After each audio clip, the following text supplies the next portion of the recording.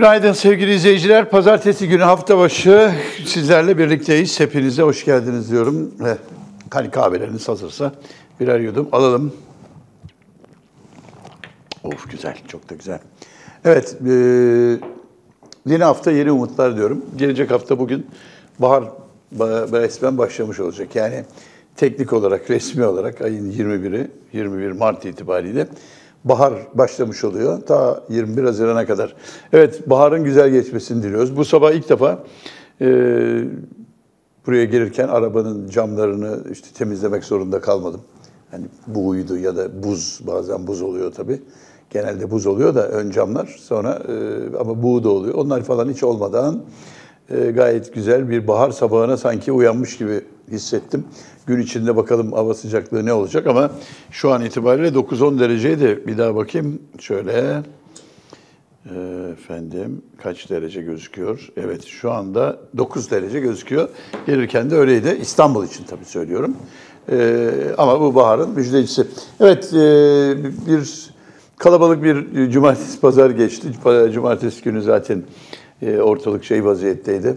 E, hani zannedersin Türkiye'nin her yerinde miting var. Herkes sokaklarda ama dün de pek farklı değildi.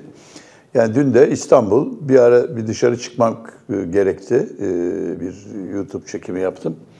Ah bir baktım yani normal gün gibi herkes dışarıda geziyor, eğleniyor. Yani böyle bir şey yok. Ha, tek şeyi lokantalar, kafeler kapalı. Yani cumartesi onlar açıktı. Pazar günü onlar kapalı ama ne kadar işte kahve satan, çay satan, e, pastane ya da işte açık olabilen yani izinli olan hani o tür gıda ürünü satan yer varsa önünde kuyruklar, insanlar kahvelerini alıyorlar, poğaçalarını, keklerini alıyorlar. Ondan sonra yürüyüşe geçiyorlar. E, zaten onunla ilgili haberlerimiz var. Yani Yeniköy sahilleri falan tamamen yani zannedersin miting var. Lebalep dolu. Eh yani en tepeden lebalep doldurun bu kongreleri deyip ondan sonra da açıyoruz biz bunları derseniz olacağı bu. Ha efendim böyle oldu da ne olacak? E yani bu e, korona salgınında patlama yaşamadığımız sürece tabii bir şey olmayacak ama e, bunun sonucu tıp uzmanlarının söylediğine göre tekrar yükselmesi hatta böyle tepe noktalarına gelmesi olarak e, karşımıza çıkabilir. O da tatsız bir olay tabii. Çünkü neden tatsız? Bir, e, hastalığa yakalanan sayısı artıyor. İki, tekrar daha sıkı önlemlere, belki de çok sıkı önlemlere e, başvurulmak zorunda kalacak. Aslında Türkiye şu geçen sene hani Mart yani bu dönemde başlamış olan işte Mart, Nisan, Mayıs hani bu bayram sonuna kadar olan e, önlemleri sürdürebilsek belki bayağı azaltmış olacaktık. Yani bakın yani Avrupa ülkelerinde falan çok büyük sorun yok artık. Ha insanlar da yeni bir hayat biçimi oluşturdular. Bakalım ne olacak. Şimdi bir gazete turu yapalım. Bir neler var neler yok haftanın ilk günü görelim. Bugün ne var önümde? Evrensel var. Evrensel Gazetesi diyor ki yönetilemeyen pandeminin gölgesinde sağlık emekçileri dün biliyorsunuz 14 Mart Tıp Bayramı'ydı. Ee, yani bizim yayın günümüz değildi tabii. Onun için ben bugüne bıraktım zaten. Benim köşede de öyle. Geleceğiz onlara. Sağlık emekçileri pandemide ağırlaşan çalışma koşulları, duyulmayan talepleri ve Covid-19'dan hayatını kaybeden meslektaşların acısını yüreklerinde 14 Mart Tıp Bayramı'nı karşılıyor. Yani o geçti zaten. Bugün 15 değil mi? Tabii o dündü. Efendim Türk Tabipler Birliği Merkez Konseyi Başkanı Şebnem Korur Fincancı 14 Mart Tıp Bayramı'nın yönetilemeyen pandeminin gölgesinde gösterilemeyenleri görünür kılmaya çalışarak karşıladıklarını söyledi. Fincancı bizler yan yana gelince her gece ayın 14'üdür. Yitirdiklerimizin anısı yüreğimizde, yüreğimizde cemreler düşer toprağa, o topraktan yeni bir hayat filizlenir diyor. Evet, ölen ölür kalan sağlar bizimdir der gibi. Efendim, e, SES yani Sağlık Emekçileri Sendikası tıp bayramını pandemide hayatını kaybeden sağlık emekçilerini anarak karşıladıklarına vurgu yaparak yitirdiklerimiz yüreğimizde, taleplerimiz dilimizde dedi ve talepleri sıraladı. Covid-19 meslek hastalığı kabul edilsin, şiddet ve mobbing son bulsun, yoksulluk sınırı üzerinde emekliliğe yansıyan temel ücret sağlansın, sağlıkta ödenen katılım payları ve ilave ücretler kaldırılsın. Bu katılım payları işte eczaneye gidiyorsunuz para alıyorlar, hastanede 3 kuruş 5 kuruş bir şey oluyor ama yani o bile insanlara e, sıkıntı veriyor. Efendim 36 saat mesai yapıyoruz diyor. Asistan hekimler pandemiyle birlikte çalışma koşullarının ağırlaştığına ve uzmanlık eğitimlerinin sekteye uğradığına dikkat çekti. TTB Asistan Hekimler kolundan Doktor Benan Koyuncu henüz öğrenciyken sağlık hizmeti verdiklerini ve bunu bunun asistanların tükenmişliğine arttırdığını dikkat çekerek 36 saate veren mesai koşullarında çalışıyoruz ama mesai ücretlerinin tamamını alamıyoruz. Ya burada iki sorun var. Yani mesai ücretlerini alamadıkları gibi 36 saat ya. 24 değil bak. Hani bir gün başladı, ertesi gün aynı saate kadar. Hayır, bir 12 saat daha çalışıyoruz. E şimdi yani her şeyin ötesinde can güvenliği tehlikede. Yani doktorun ya da o asistanın değil, hastanın. Yani düşünebiliyor musunuz? Serum takacak ve böyle yıkılmak üzere. Kim bilir neler yaşanıyor aslında bilmiyoruz ki. Yani böyle bir durumda herkesin aynı sağlık e, ya da vücut sağlığının korunuyor olması mümkün değil ki. Hani gencecik tamam çalışır fişek gibi falan güzel de ama yani bu hatalar yapıyorlar mı ve bu hatalar yüzünden canlar yitiriliyor mu? Ya da hani ramak kalıyor mu? O da önemli. Yani ille can yitirilmez de ama yani bir hastayı çok zora sokabilirsin ve onda kalıcı etkiler bırakabilir mesela. Yani onun da göz önüne alınması lazım. Hep hani tamam sağlıkçı böyle diye de her sağlıkçı aynı şeyde olamaz ki. Facia. Pazar torbasının dolduğu günler geride kaldı diyor. Diyarbakır'ın ofis semt pazarında konuştuğumuz yurttaşlar 300 liraya alışverişin yarısını bile yapamadıklarını, pazar torbasının dolduğu günlerin geride kaldığını belirtirken, esnaf ise fiyatların yüksekliğinin vergilerin yüksek olmasından dolayı olduğunu söyledi. Evet. Suriye sorununda Doha süreci ne anlama geliyor? Doha'daki ortak açıklamada her ne kadar Suriye siyasi çözüm dışında bir yolun kalmadığı vurgulanmış olsa da oluşturulan yeni mekanizma Suriye halklarının iradesine dayanmıyor ve onların çıkarlarına hizmet etmiyor. He. Şimdi Doha'da bir şey oldu ya Türkiye, Katar, Rusya mı ne oturdular hani Suriye konuşacaklar. Efendim, kamu emekçileri zam için alan, alanlarda KESK bugün ek zam talebi için tüm illerde eylem yapacak. Maaşların enflasyon karşısında eridiğini belirten KESK eş genel başkanı Aysun Gezen tüm kamu emekçilerinin emekçilerini talepleri etrafında birleşmeye çağırdı. İşte sorun orada oluyor biliyor musunuz? Yani herkesin sorunu ama kimse birleşmiyor. Efendim sakat, hak ettikleri cezayı alsınlar diye bir haber var. Sakarya'da 7 kişinin hayatını kaybettiği 128 kişinin yaralandığı havai fişek fabrikası patlamasına ilişkin açılan davanın ikinci duruşması bugün görülecek. Adaletin yerini bulmasını isteyen aileler istediğimiz suçluların istediğimiz suçluların hak ettiği cezayı alması diyor. Evet. 10 Ekim, evet hakim bey adalet istiyoruz diyor. 10 Ekim davası avukatlarının 2 yıldır firari sanıkların banka hareketlerini görmek amacıyla istedikleri MASAK raporunu neden mahkemeye gelmiyor? Acaba firari sanıkların para hareketinin ucu bu davada avukatların hep talep ettiği ve sürekli reddedilen kamu görevlilerinin yargılanmasına kapı arayalayacak sonuçlarla mı varıyor değilse neden? Ben o tabii o şeyler çok tuhaf tabii bu tür e, yani bir gecede evler basıp böyle maskeli kadınları tanıyıp zıp zıp zıplayanları e, yakaladık efendim, soyduk, aradık, huzurunuza getirdik diyen polis teşkilatımız e, nasıl oluyor da mesela Masak işte o da polis. Ya da herhangi birinin 1 liralık vergi kaçağının peşine düşen ve nereden bulmuştun sen bu parayı da filan diyen Masak. Bunu niye yapmıyorlar? Yani çünkü niye? E o işte bizim arkadaşlar be. Ya bizim çocuklar yapmış onu şimdi. Yapmayalım peki. Milli Gazete diyor ki 10 yıldır yıkılıyor. Şimdi bugün ayın 10. yılı. 2011 21 Mart 2000 o, şey 2011 21 Mart'ında Suriye'deki iç savaşın başladığı resmen anlaşılmıştı artık. Yani o gün milat yani şey tarih e, kabul ediliyor. Başlangıç günü. 11 e, 21 Mart 2011. Bugün 10. yıl. 10 yıldır Suriye alt üst oluyor. Tabii yani bunda bizim AKP iktidarının bir parça dahli var mı yok mu? Bunu da tarih gösterecek. Çünkü yani 5-6 milyon insan Türkiye'ye akın akın geldi. Yani bunların hepsi mi Esad'dan kaçtı? Hepsi mi şeye karşı? Niye bunların hepsi karşıysa, Esad'ı istemiyorsa niye Türkiye'de bir e, böyle Suriyeli kurtuluş teşkilatı falan kurulmuyor da hepsi bizim o devletten para alan maaşlı savaşçılar var. Yani bunlar da dünya medyasında yani Suriye'de hani ÖSO numarası var ya bir tane çapulcu ordusu. E onların hepsi maaş aldığı söyleniyor mesela Türk Silahlı Kuvvetleri'nin e, üzerinden. E, işte giyiniyorlar, şey yapıyorlar. E, üniformaları veriliyor, silahları veriliyor. Bunlar bizden önce gidiyorlar, kafa mafa kesiyorlar. Yani dünya bunları konuşuyor bakın. Türkiye bunları konuşmuyor. Şimdi bakın ben size, ha şimdi hepsini bıraktık masanın üzerinde. Ha, iş olacak şey değil. Benim bütün haber şeylerini bırakmışım masanın üzerinde ya. Şimdi ben hani bir, bir, bir hafta, on gündür hep böyle bir şey söylüyorum. Diyorum ya Suriye'de, Libya'da bir takım şeyler oluyor. Ama bunları söylemek zor. Niye? Çünkü Türkiye'de yeni bir akım oluştu. Böyle bir beceriksizlik ya da çapsızlık nedeniyle başımıza gelen olayların bir şekilde burada konuşulmasından çok rahatsız oluyor iktidar ve işte casus, hain, terörist falan gibi suçlamalar yapıyor. Ben de açık söylüyordum yani bunlardan endişe ediyorum. Ama bugün e, Milli Savunma Bakanlığı şeyi açıkladı. Mesela benim e, Cuma günü de en son galiba söylediğimi hatırlıyorsunuz değil mi? E, ya bu Suriye'de yoksa böyle bir takım tankerler mi bombalanıyormuş, ne olmuş, yani öyle laflar geliyor falan diyordum. E, Milli Savunma Bakanlığı resmen açıkladı.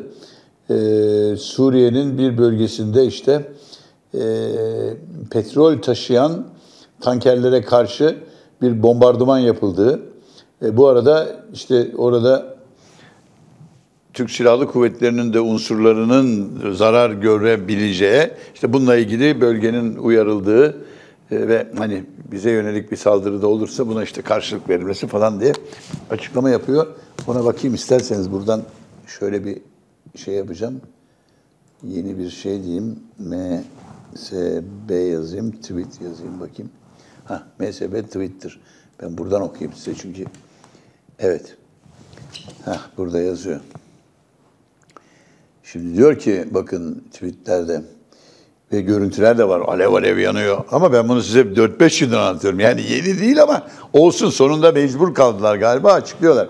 Bir demiş Milli Savunma Bakanlığı açıklaması 7 saat önce yapmış bunu. Yani şu anda demek ki gece 12'de yapmış bunu.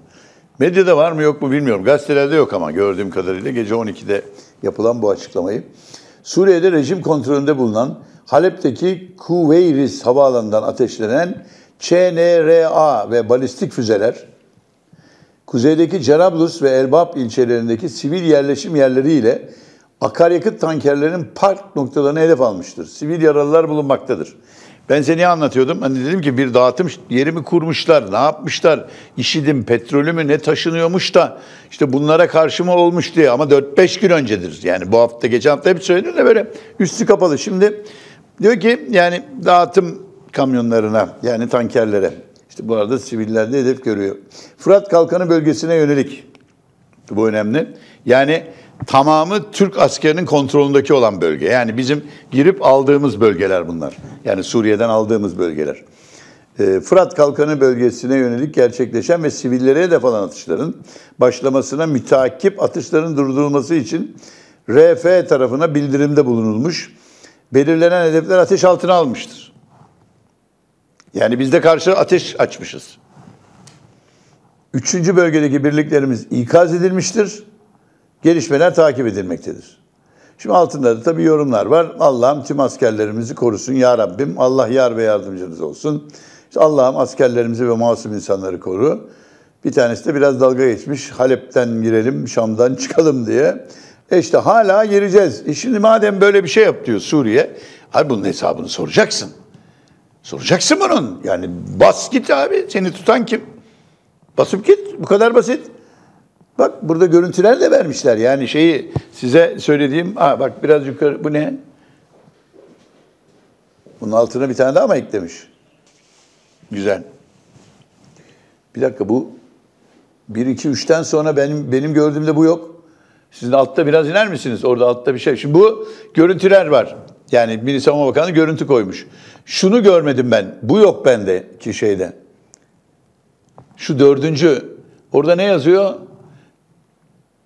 Gökçeada, Gökçeada da bulunan. Ha öbürü bir dakika bir tane daha var. Oradaki ne? Orada da bir şey var. Bir de Gökçeada da bir şey var. O neymiş? Ha uzman eğitim nişancı hay Allah ben de onu böyle yerde yatanlar falan görünce ne oluyor diye baktım. Evet yani sonuç olarak sizlere e, dediğim e, epidir söylemekte olduğum e, şey nihayet Milli Savunma Bakanlığı. Şimdi bakalım Libya'dan ne olacak? Bu arada tabii gene Türk basınına yansımayan e, şeyler var. E, bir Avrupa Birliği Türkiye'nin e, Suriye'den çekilmesini ve paralı askerleri de dağıtmasını istedi. Aynı şekilde Birleşmiş Milletler Güvenlik Konseyi isim vermeden Libya'daki bütün paralı askerler ve yabancı askerler çıkacak dedi. Mısır eğer Türkiye böyle bizle gerçekten ilişki kurmak istiyorsa önce Libya'daki paralı askerlerini ve kendi askerlerini çeksin dedi. Şimdi bunlar bize yansımıyor. Şimdi bunlar bize yansımadığı için biz de burada fazla ayrıntıyla anlatamıyoruz. Durum bu ama. Yani bütün bölgelerden Türkiye'ye yönelik bir şey var artık. Şimdi bunu dış güçler oyunu, dış güçler ayağa kalktı, dış güçler bizi falan diye kendi kendimizi kandırabilir miyiz? Evet. Fevkalade de güzel olur. Hep beraber böyle dış güçler bizi çekemiyorlar. Türk'ün Türk'ten başka dostu yok. İşte el birliği yapalım filan. Çağırırsınız muhalefeti de. Ortak bildiri yayınlarsınız. Biz içeride birbirimizi yeriz ama dışa karşı şey yürekle böyle tek vücut falan filan numaraları yaparsın. Böylelikle saray iktidarının bütün yanlış, hatalı, e, çapsız dış politikası, yaptığı bütün diplomatik hatalar, efendim e, çok sayıda insanın ölümüne neden olan bir takım e, abuk sabuk girişimlerin hepsini aklarsın, paklarsın, bütün Türkiye senin arkanda dersin. Gayet de hepimiz de rahat ederiz. Hiçbirimizin başı ağrımaz. Valla ben de burada onu tercih ederim. Ben de sabahleyin geleyim burada. Hey aslanım be, bütün dünya bize karşı ama tek başına dineliyor. Ama biz içeride birbirimizi yesek bile, dışa karşı bile, yürü be Tayyip Erdoğan, hayri ve arkandayız filan yaparız. En kolay iş bu. Bunun maaşı da yüksek ha biliyor musunuz? Ya bayağı tasarruflu. Bunu bir yapmaya başlasak burada, vallahi bir konuşalım yani arkadaşlarla. Biz bunu yapmaya başladık mı, e bizim gelirler de maşallah hani artık bu böyle file doldurma esprileri falan yapmaya gerek kalmaz. Hatta ve hatta bizler de görmeyebiliriz değil mi? O ne file ya doldursaydın kardeşim falan öyle yapıyor. Geçenlerde çok müthiş bir espri yapmışlar. Ben dedim ki bak bir an düşünme yapmış olabilirler mi haberi diye yok yok dedim. Neyse sonunda büyük ihtimalle fake çıktı. A Haber var ya A Haber onun logosunu koymuş altına çöplük şey ayırıyor. E, kadın e, çöpten yiyecek topluyor. A Haber göğe haber yapmış. Diyor ki vatandaşın duyarlılığı pazar yerini e, temizliyor. Yani pazarcılar gitmiş, vatandaş da el birliğiyle pazar yerini temizliyor. Millet bir kısmı düşmüş tabii. Çünkü neden? E A Haber bunu yapabilir. Yani diyorum ya işte bu çünkü bunun maaşı da çok yüksek. Gayet güzel para kazanıyor. Mesela böyle harika gidiyoruz. Dış güçlerin verdiği şeylerden sonra görüldüğü gibi yapılan fiyat ayarlamalarıyla halkımız çok mutlu. Artık kötü peynirlere 35 lira vermek yerine hakiki peynire 85 lira veren halkımız mutlu. Artık zehirlenmiyoruz dedi. Artık e, iyi gıdalarla yetişiyoruz daha az yiyebiliyoruz ama daha sağlıklı. Çocuklarımız büyüyor filan. Bak bu haberleri mesela oturacağız bunları yapacağız biz de burada. Düşüneceğiz, bakacağız mesela. Et, ee, ulan et çok pahalı ne yapacağız filan. Efendim e, protein değeri yüksek e, etler piyasada. Artık ondan 20 gramlık bir e, yemeğe 20 gram koyduğunda bile fevkalade iyi sonuç veriyor. Çocuklarımız sağlıklı büyüyecek filan diye haberler yapılabilir mesela. Yani mesela otoyolla diyor ya mesela İzmir'e gitmek e, şeyle e, ne derler e, uçakla gidersen 200 lira, otoyoldan gidersen 600 lira. Gidiş geliş arabayla gidersen 600 lira. Mesela şey orada ne diyebilirsin mesela uçak korkusunu uçak korkusunu yenen otoyol. Anananan böyle Artık uçaktan korkanlara gün doğdu. Rahat bir şekilde İstanbul'dan İzmir'e uçaktan bile önce gidebiliyorlar. Çok güzel. İyi ki yaptı bunu Tayyip Erdoğan. Hiç e, başımızdan ayrılma Tayyip Erdoğan şeklinde manşet attı mı? Maaşı da çok güzel. Vallahi bir denemekte fayda var ha. Hay Allah'ım ya parayı görünce şımarır mıyız? Hayır asla. Asla. Niçin şımaralım? Gerçi birileri bir para verse de bakalım şımaracak mıyız, şımarmayacak mıyız onu da bir görsek. Değil mi? Para seni çok değiştirdi. Vallahi bir ver bak göreceksin nasıl değişmediğimi diye böyle. Canla başla çalışmaya devam edeceğiz diyor. Neymiş bu? AGD 46 dönem şube sorumluları Oo, şube var toplantısı geniş katılımla.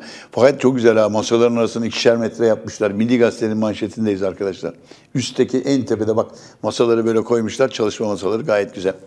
Milli görüş siyasetin merkezi, siyasetin merkezi dış politikadır. Ya böyle kalabalıklar bak şimdi burada böyle rahat açık böyle bak görüyor musun? İki tane fotoğraf. Milli Gazete'de. Birinde pandemi kurallarına son derece uygun, harika, medeni böyle bir salon. Öbüründe maşallah leba lep vaziyette. Ay çok enteresan ya. Hepsinin hiçbirinde maske yok. Onlar siyaset dış politikadır. Gençler üzerinde kuşatmayı Saadet Partisi kadrolar kaldıracak. Bu siyasi partilerin yayın organlarına bayılırım ben. Ya o partinin oyu ne olursa olsun Sanki iktidardaymış gibi haberler yaparlar. Çok da güzel olur. Bak aydınlık mesela böyle. Zannedersin ki Vatan Partisi şu anda, yani gerçi şu anda iktidarda ama hani yani böyle acayip yani iktidarda da Tayyip Erdoğan'ın oyuyla iktidarda. Yani bir oy Vatan Partisi'ni iktidara taşıdı. Hani 100 binden de düşük zaten vatandaş oyu var ama yani zannedersin ki aydınlığı falan okuyunca da ulusalı izleyince hani böyle partinin arkasında milyonlar var. 8-10 milyon insan böyle canla başla partiye çalışıyor.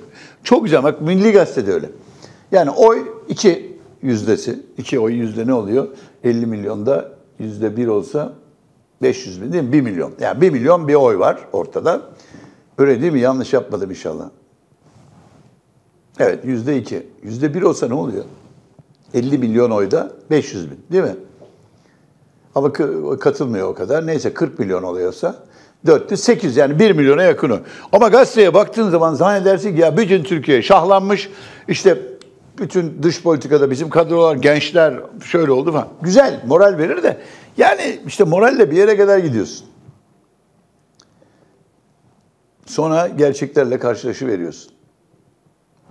Kaçtı ya yıl böyle 1975-76 mı? Türkiye İşçi Partisi o zaman var. Beyce Boran Genel Başkan. İşte biz de öyle çok hem üniversiteli hem şeyiz, gazeteciyiz, başlamışız. Ve Türkiye İşçi Partisi'nin toplantısına davet ettiler. Ben de o zaman böyle girmişim yani bayağı onlarla meraklı ama o kadar şimdi bakıyorum da o kadar tabii cahilce filan. Bursa'nın Kültür Parkı'nın içinde bir salonda bir şey toplantısı yapılıyor. Salonun içi hınca hınç dolu. O dönemlerde böyle sigara migara da içiliyor. Sonra dediler ki ya Beyci Hanım'ın şey dedi içmeyin kardeşim bu kadar filan. Bir havalandırıldı. Ondan sonra salonda sigara içilmedi filan öyle oldu. Bir ara böyle içeride nasıl ama heyecanla böyle bakıyorsun. Abi devrim yakın işte bu insanların bu coşkusu falan filan. Sonra bir ara böyle dışarı çıkıldı. Yani ben çıktım birileriyle. Böyle bakarken etraftan geçen insanlara baktım. Şöyle bir işte ilk o zaman lan biz yanılıyor muyuz acaba dedim. Yani sayısal olarak. Bir kalabalık ya içeride olanların üç katı o 2-3 dakika içinde önümüzden aktı geçti gitti böyle insan seli var. Bir bu tarafa gidiyorlar bu tarafa filan. Yani hep toplamı içeridekilerin 3-4 katı. Ve hiç kimse de böyle ilgilenmiyor. Aa ne güzel bak burada bu devrimciler toplantı yapıyor falan diyen de yok. Ertesi gün hiçbir gazetede yok, bir şey yok. O zaman kendi kendime demiştim. Ya burada bir şeylik var yani böyle bir heyecanlanıyorsun. Acayip aldık, yürüdük, gittik. O kalabalık çünkü o kalabalık her yer zannediyor. Sonra dışarı bir çıkıyorsun. Yüz katı var onun dışarıda. İşte böyle oluyor. Maalesef. Bu yüzden birçok siyaset battı biliyor musunuz? Yani orada heyecana kapılıp tamam ya yürüdük gittik bak şimdi yeni kurulan partiler var. Bayılıyorum onlara. Yani konuşurken hepsi şey diye anlatıyor. Bitti abi nereye gitsek biz konuşuluyoruz. Sorun Muharrem İnce'ye. Sorun Mustafa Sarıgül'e. Şey ne bileyim Öztürk Yılmaz'a, işte kim Rıfat Serdaroğlu'na.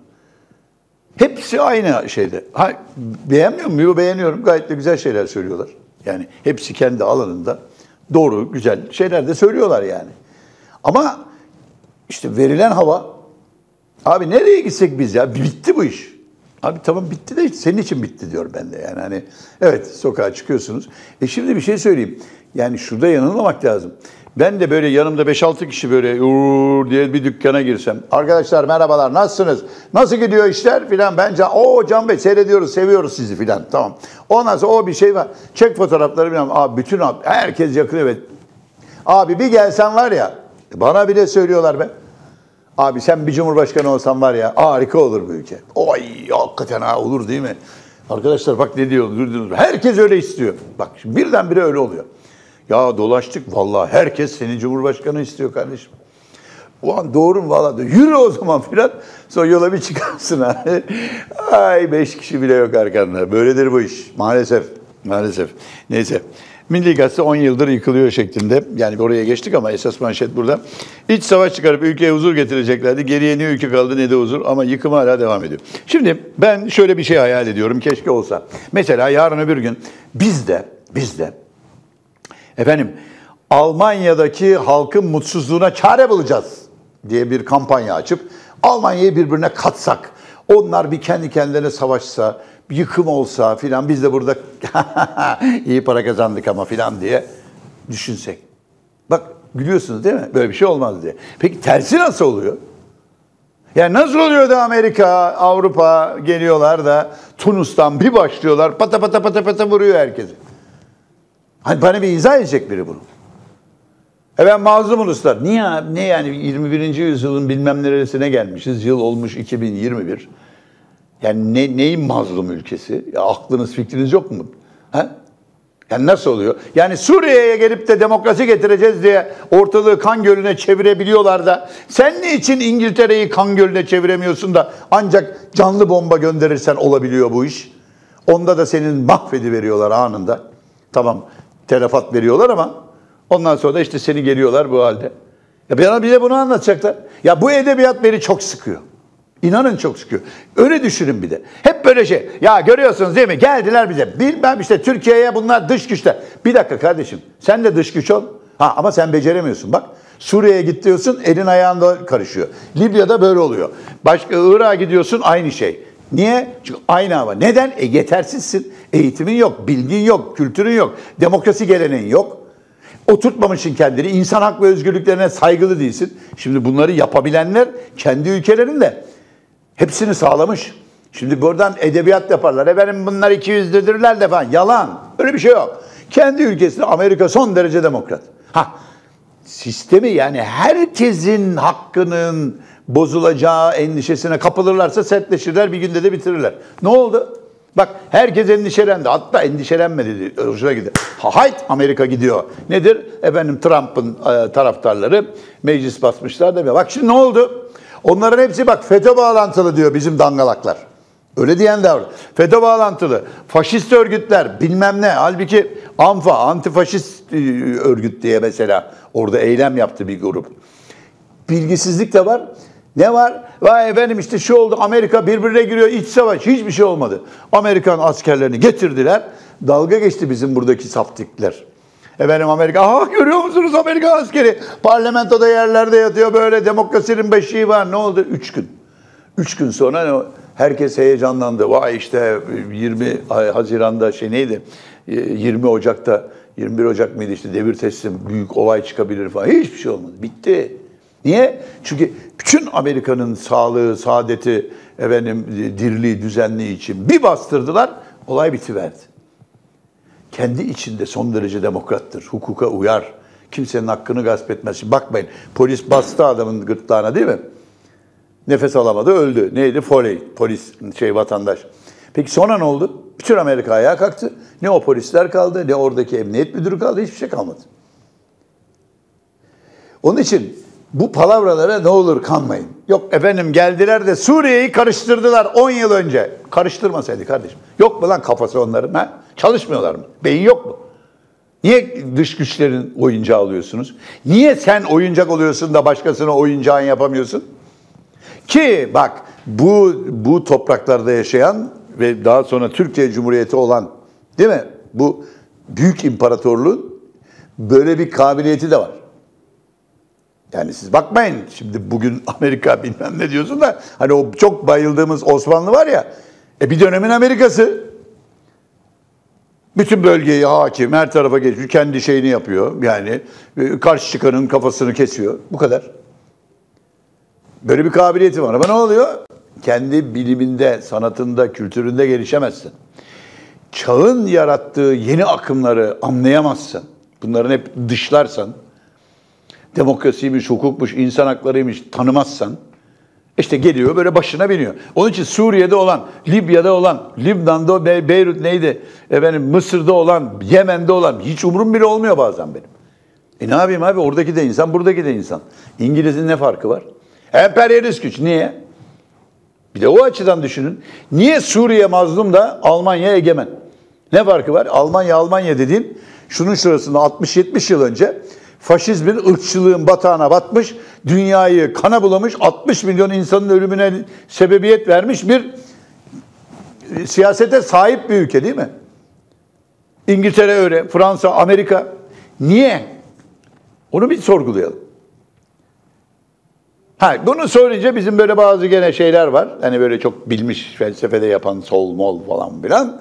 Efendim işte onların böyle bir işte diyalektik materyalizmi onların gelişimiyle bizim bilmem ne mazlum bıraktırılmıştır falan. Bırakılma kardeşim bana edebiyat yapma diyorum. Bana edebiyat yapma. Neden sen mazlum kalmışsın? Mısırlı neden mazlum da İsrailli değil? Ya da o niye böyle kalmış da öbür herif çölün ortasında vaha yaratmış? Sen Allah'tan bekliyorsun. Allah'ım bu çölün ortasında bir vaha, orada bir tane dandirik bir tane şey çıkacak. Neydi o onların hurma ağacı. Onun gölgesi. Oradan bir yerden de böyle bir kuyu, bir su işte onunla savaşırlar. İsrail baktı burada su yok. E ne yapacağız? Su bulacağız. E nasıl bulacağız? Denizden su çekeceğiz dediler. Denizden arıttılar, su getirdiler. Buranın biraz yeşillenmesi, yağmur yok, bir şey yok. Oğlum, yem yeşil hale getirdiler. Sen niye düşünmedin? Niye düşünmedin? Binlerce yıl. Çölün ortasında hep yaşadın. Herif geldi çölün ortasına dedi ki böyle yaşanmaz burada. Anlat hadi bakalım. Evet. Geçelim Suriye'ye. Her gazetede var şimdi Suriye. Aşağı yukarı hep aynı edebiyat var ama. Efendim ah bunları ne yaptılar? Aydınlık şeysi bakalım ne yapmış onlar bugün AKP için. Evet bu yalanın altında kalırsınız. Osman Kavala'nın kurduğu yayın evine 3 kurumdan tepki. Efendim oradan bir kitap çıkmış Talat Paşa. Talat Paşa'yı soykırımcı gösteriyormuş.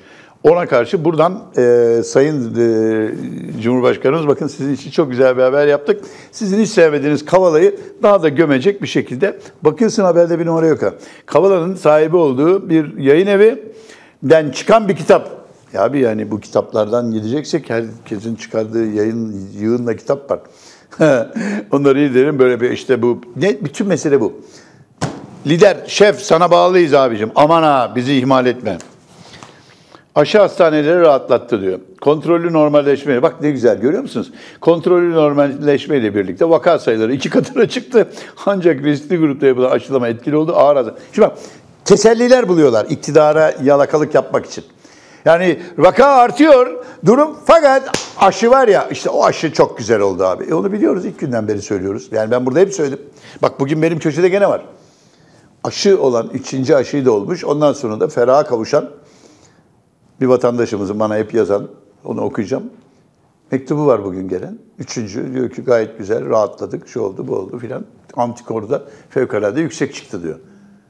68 yaşında, 69 yaşında mı ne bir okurum. Yazmıştım daha önce de. İlk aşı oldu, bana haber verdi. Dedi ki böyle böyle oldum. Hafif bir baş ağrısı bir şey oldu ama iyiyim. O sonra ikinciyi oldum dedi. Gün verdiler dedi. Ben de onun üzerinden bir kişi üzerinden aşı olayını takip ettim. Şimdi de bir antikor testi yaptırmış. Antikor da çok yüksek çıkmış. Adam diyor ki yani ben kurtardım ve böyle bir şey oldu. Ha efendim aşı olup da tekrar korona olan var. İşte sevindirilen şu. Aşı olup da koronaya yakalananlardan bir e, yoğun bakım ya da entübe vakası hiç yok. Vefat hiç yok. Ölüm hiç yok. E bu iyi bir şey. Olabilen olsun kardeşim. Yani ben bu şeyde böyle tutarak filan böyle çünkü bizim gibi ülkelerde böyle sorun yaratıyor. Çünkü neden? İşte bu aşı daha iyi, bu daha iyi. Kimsenin bir şey bildiği yok. Ben ilk günden beri söyledim. Çin min beni ilgilendirmiyor. Bir, aşı mı aşı. Yani bu bizim Sağlık Bakanlığı da. Evet ne kadar para göz olsa bilmem ne de olsa. Göz göre göre milyonlarca insana e, hasta edecek bir şey vermez. Ha, çok güçlü bir aşı değildir ama hani bunu vurduk millet de öldü. O öyle bir şey yok. Ha, o çok büyük bir plan. Millete aşıları vurdukça vurdukça telef yok edersin. O başka bir şey. Ama ben bugün Sağlık Bakanlığı'nın da böyle bir şey yapabileceğine ne ihtimal veriyorum ne bir şey. Ha efendim aşılar gelirken hani bize ne şey var faydası var diyenler var mıdır? Varlar. çok ciddi paralar kazanıyorlar mı? Kazanıyorlar anlayordığımız kadarıyla. Çünkü hani Çin'in hediye diye gönderdiklerini bile satan bir zihniyetle karşı karşıyayız. Yani onu bile devlete kakalamışlar. Ha, o da çıktı ortaya. Tamam, gargaraya getirdiler. Ama yani şunu kabul etmem. Yani getirdiler ama hiçbir işe yaramayan bir aşı. Hayır. Bugün eğer bir takım sıkıntılar çekiyorlarsa acaba ne o durum nedir? Den kaynaklanan bir şey bu yani. Başka izahı yok bunun. Yoksa yani şey ayrıca da başından beri söylüyorum geleneksel aşıdır. En azından seni hasta etmez. Yani aşıları vurulduk, hepimiz hasta olduk diye bir şey öyle bir şey yok. Bir şey düşmedi değil mi? Bir çat diye bir ses oldu da o bakımdan. Evet. Şimdi Neyse, neyse. Ee, bu şeyin başı bir provokasyon tabii. Ağrı'dan Diyarbakır'a PKK'ya halk yürüyüşü. Bu e, Baykal'ın adamı neydi bu herif? Adam pardon kusura bakmayın. Savcı Sayan. Ha bu şimdi biliyorsunuz bu Baykal gidiyor diye ağladı. Evinin önünde yattı. Ben böyle bir CHP'li falan. Hop AKP'li oldu.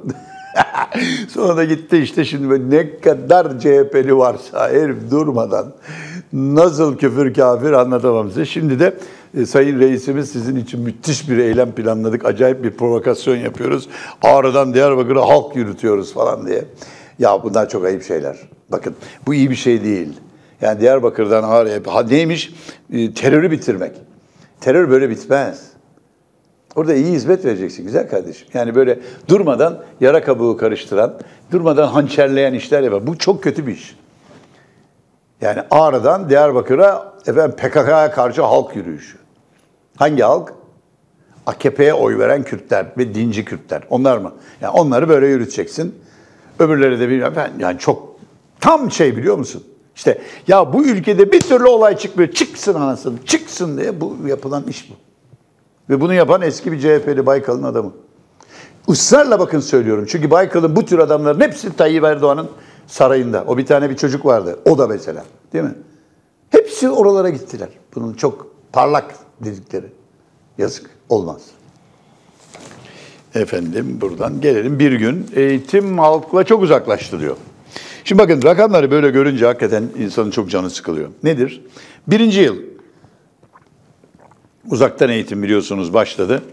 Türkiye'de de aman işte okullar okullar uzaktan eğitim EBA meba filan falan. Oo bir bakanımız harika çok güzel filan. Şimdi bakın gelinen nokta. Bir yılda. Rakamlar çok korkunç. 4 milyon 300 bin öğrencimiz, 4 milyon 300 bin öğrencimiz EBA'ya giremedi. Hiç yok. Hani okulları ben Temmuz'a kadar açık tutacağım. Özel okullar aman abi müşteriler kaçmasın. Var ya. Aha, bu sonucu. Halk çocukları böyle. Yüzde altmış cep telefonuyla katılmaya çalıştı. Öğrencinin yüzde altmışı yok çünkü televizyondan giremiyor, anlamıyor. Çünkü yetmiyor. Efendim tablet yok, bilgisayar yok. Cep telefonu. Baba çocuklar işim var yalnız birazdan bir şey arayacaklar. Ben de boya yapmaya gideceğim. Yani çabuk verin. Yüzde on EBA'ya tabletten girdi. Yüzde otuz EBA'ya bilgisayardan girdi. 750 bin hanede televizyon hiç yok. Şimdi düşünebiliyor musun? Evde bir televizyon var ama üç çocuk var. Hani onlar e, şahsımın şeyini sözünü dinlemişler. Üç çocuk, beş çocuk filan. Üç çocuk yapmışlar. Allah sağlık versin. Üçü de Allah bağışlasın. Üçü de yedi, sekiz, yedi, dokuz, on bir yaşlarında. Yani üçü de EBA'dan hizmet almak durumunda. Evde de televizyon ya yok ya da bir tane var. Çözüm abi özel okula gitsinler. Bak çok güzel değil mi? Senin o Milli Eğitim Bakanı hiç bunları düşünüyor mu? Yok. Onun aklında fikrinde kendi okul zinciri var abi. Hayatının en güzel şeyini ele geçirmiş. Hem okul sahibi hem de bunlara bakan bakan. Daha güzel kaymaklısı var mı ya? Ama işte maalesef arada korona çıkınca ne yapacaklarını şaşırdılar. Bari bizim müşterileri kaçırmayalım diye işte bunlara neden oluyorlar. Sorarsan adam fevkalade iyi abi çok Atatürkçüyüz be. Çünkü öyle anlatıyorlar adamı. Yo bak o çok çok medeni adam, çok Atatürkçüdür, laiktir bilmem ne. Neresi be? Yani okulunda bir tane bile türbanlı çalıştırmayınca çok medeni adam mı olmuş oluyorsun yani? Hala yok. Götürsene abi diyorum sana çocukları. Niye sen sabah namazına götürmüyorsun? Hani devlet okullarında yapıyorsun ya.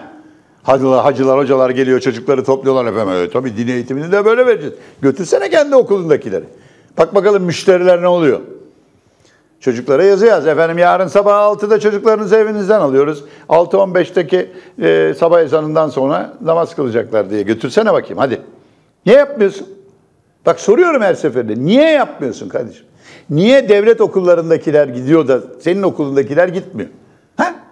Ya şu tabloyu utanmıyor musunuz bunları yaratmaktan? Ha işte neden oluyor biliyor musun? Sen bu tabloyu yarattığın için sana mazlum ülke diyorlar. Sonra da dış güçler sen de istediklerini yapabiliyorlar. Bu kadar basit. Hani sordum ya Suriye'de niye olabiliyor? İşte bu nedenden olabiliyor. Almanya'ya git bakalım böyle bir tablo var mı?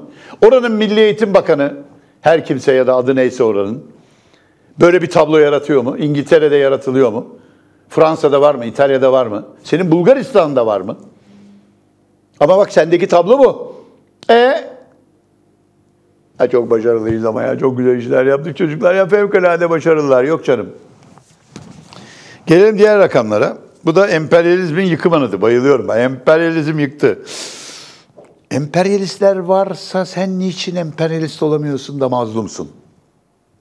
Öbürü ne yapıyor bana onu anlatın ne olur. Yani herif elektriği bulmuş. Değil mi mesela?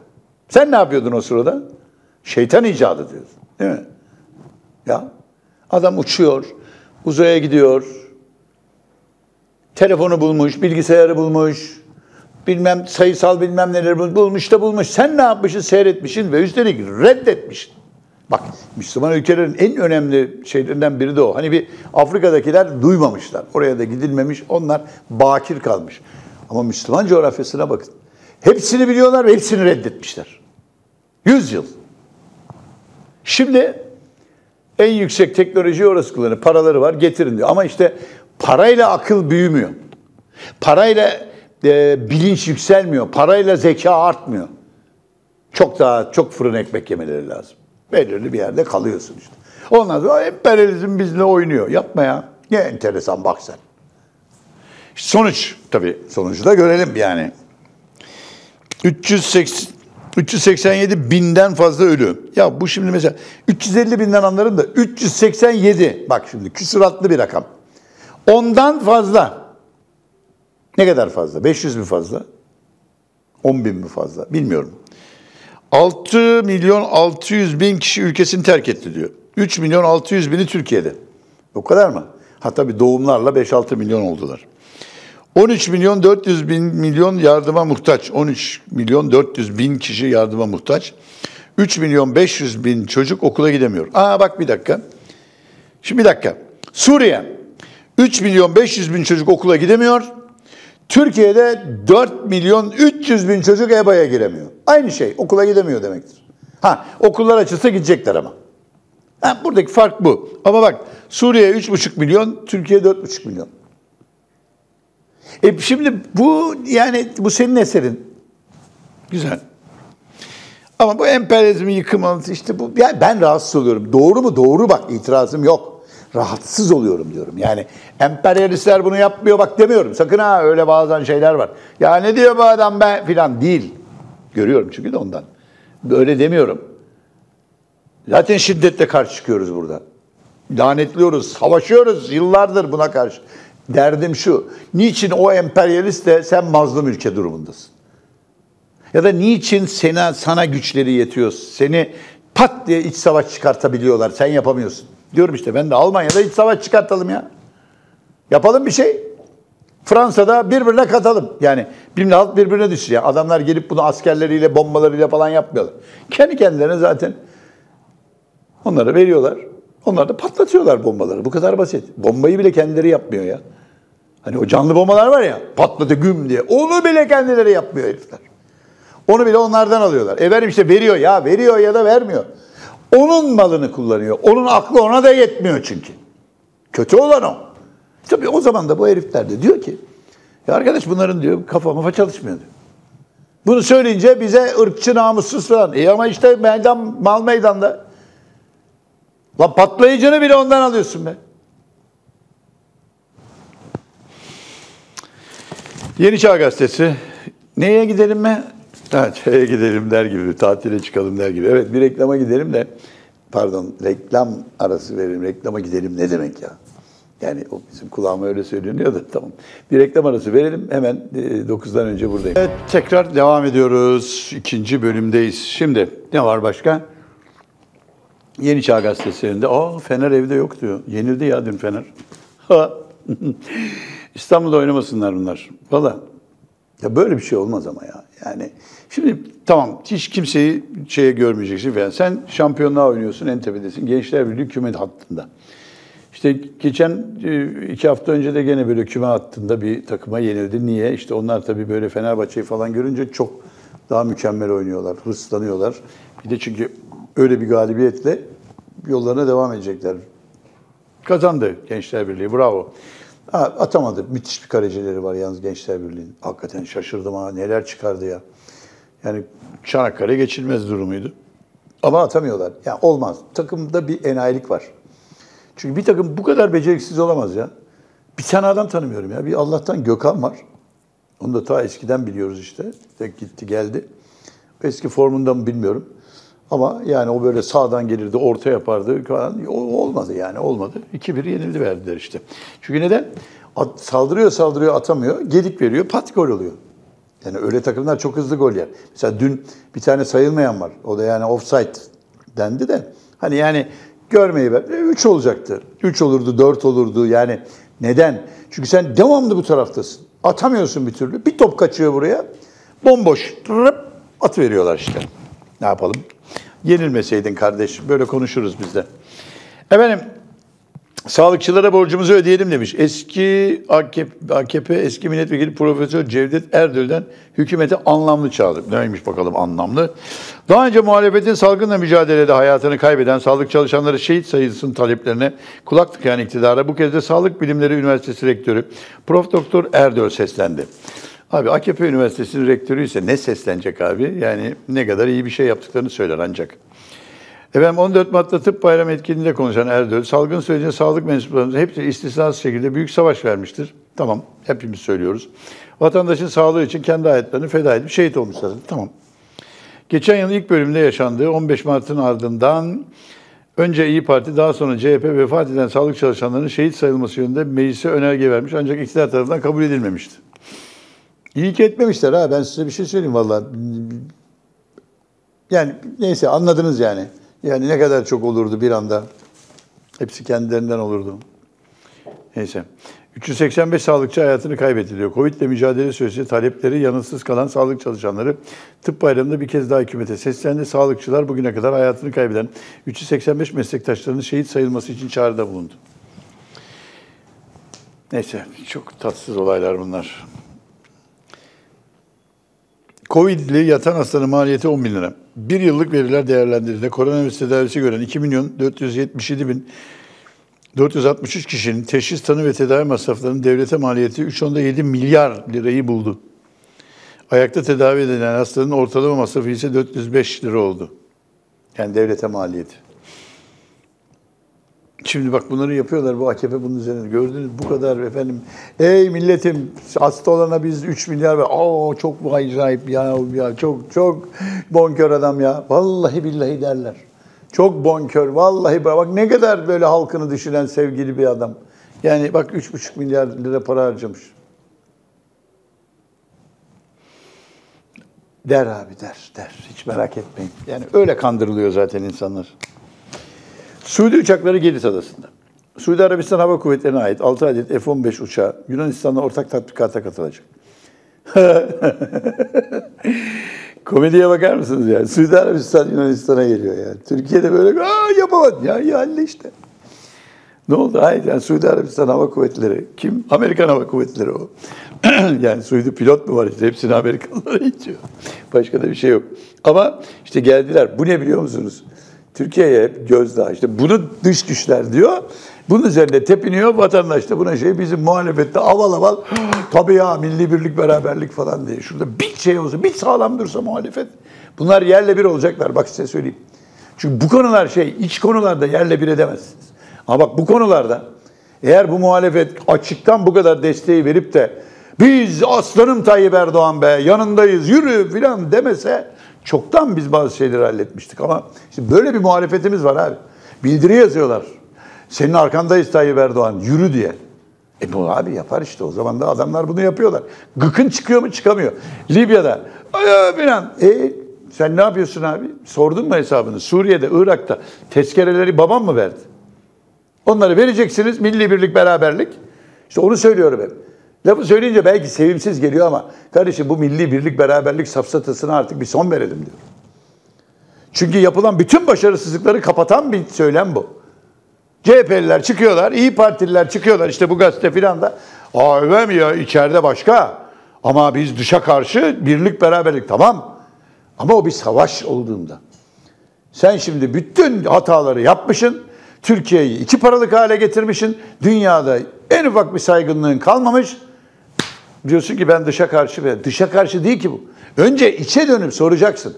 Ya arkadaş dünyada yok ya mal varlığını açıklarız diye tehdit edilen Türkiye'den başka ülke yok. Ve sen buna milli birlik beraberlik deyip göğüs geriyorsun. Olur böyle şey. Önce buraya soracaksın. Ya sen nasıl bu hale düşürdün? Ne münasebet? Yani Amerikalıya bozulup da ey Amerika sen bana nasıl söylersin? Ben arkasındayım reisimin, liderim benim, Tayyip Erdoğan'ım, canım, ciğerim, her şeyim diyemezsin. Önce döneceksin buraya diyeceksin ki arkadaş bu herifler bu lafı nasıl söylüyor ya sana? Sen ne yaptın da bu ülkede bu hale geldik? Önce onu sor. Ha sonra eğer bundan dolayı Türkiye'de hepimizi sıkıntıya sokacak bir yaptırım oluyorsa karşı çık. Ama Tayyip Erdoğan'ı çok seviyoruz abi. Yaptığı her şey doğrudur. Biz onunla içeride hesap. Sen karışma falan bu numara. Bırakın abi bunlar geçti. Bunlar artık köhnemiş zihniyetler. Aa, binlerce yıl geride kalmışsın yani. Sen de ama işte ne yapalım ülkenin iktidarı böyle, muhalefeti böyle olunca hep beraber 1500-2000 yıl geriye gidiyoruz. Ama binalar yükseliyor bak ona bir şey demiyorum. Yazık. Karar Gazetesi demiş ki isim değil zihniyet değişsin. Bak tam böyle lafının üstüne geldi. Bakalım ne üzerine ama. Gelelim. Bu Karar Gazetesi enteresan muhalefet yapıyor. Yani daha önce bütün melaneti yapanlar şimdi iktidarı muhalefet. Allah'ım ya buradaki kadroya bakıyorum denize hepsi anti Ergenekon böyle. Hani daha doğrusu hepsi Zekeriya Özcü, hepsi Cihan Kansızcı, hepsi efendim işte e, bu bütün davanın avukatı kimse onun emrinde ele tek öpüyorlar. Öyleyken şimdi birden hidayete erdiler. Kimi kandırıyorsunuz ya? Tayyip Erdoğan şak diye bir çağırsa hop abi buradayız ayıp ediyorsun. Olan büyük kongre için hazırlanan AK Parti'de kabine revizyonu konuşuluyor. İşte konuşuluyorsa neyi konuşuluyor ya? Öyle bir şey yok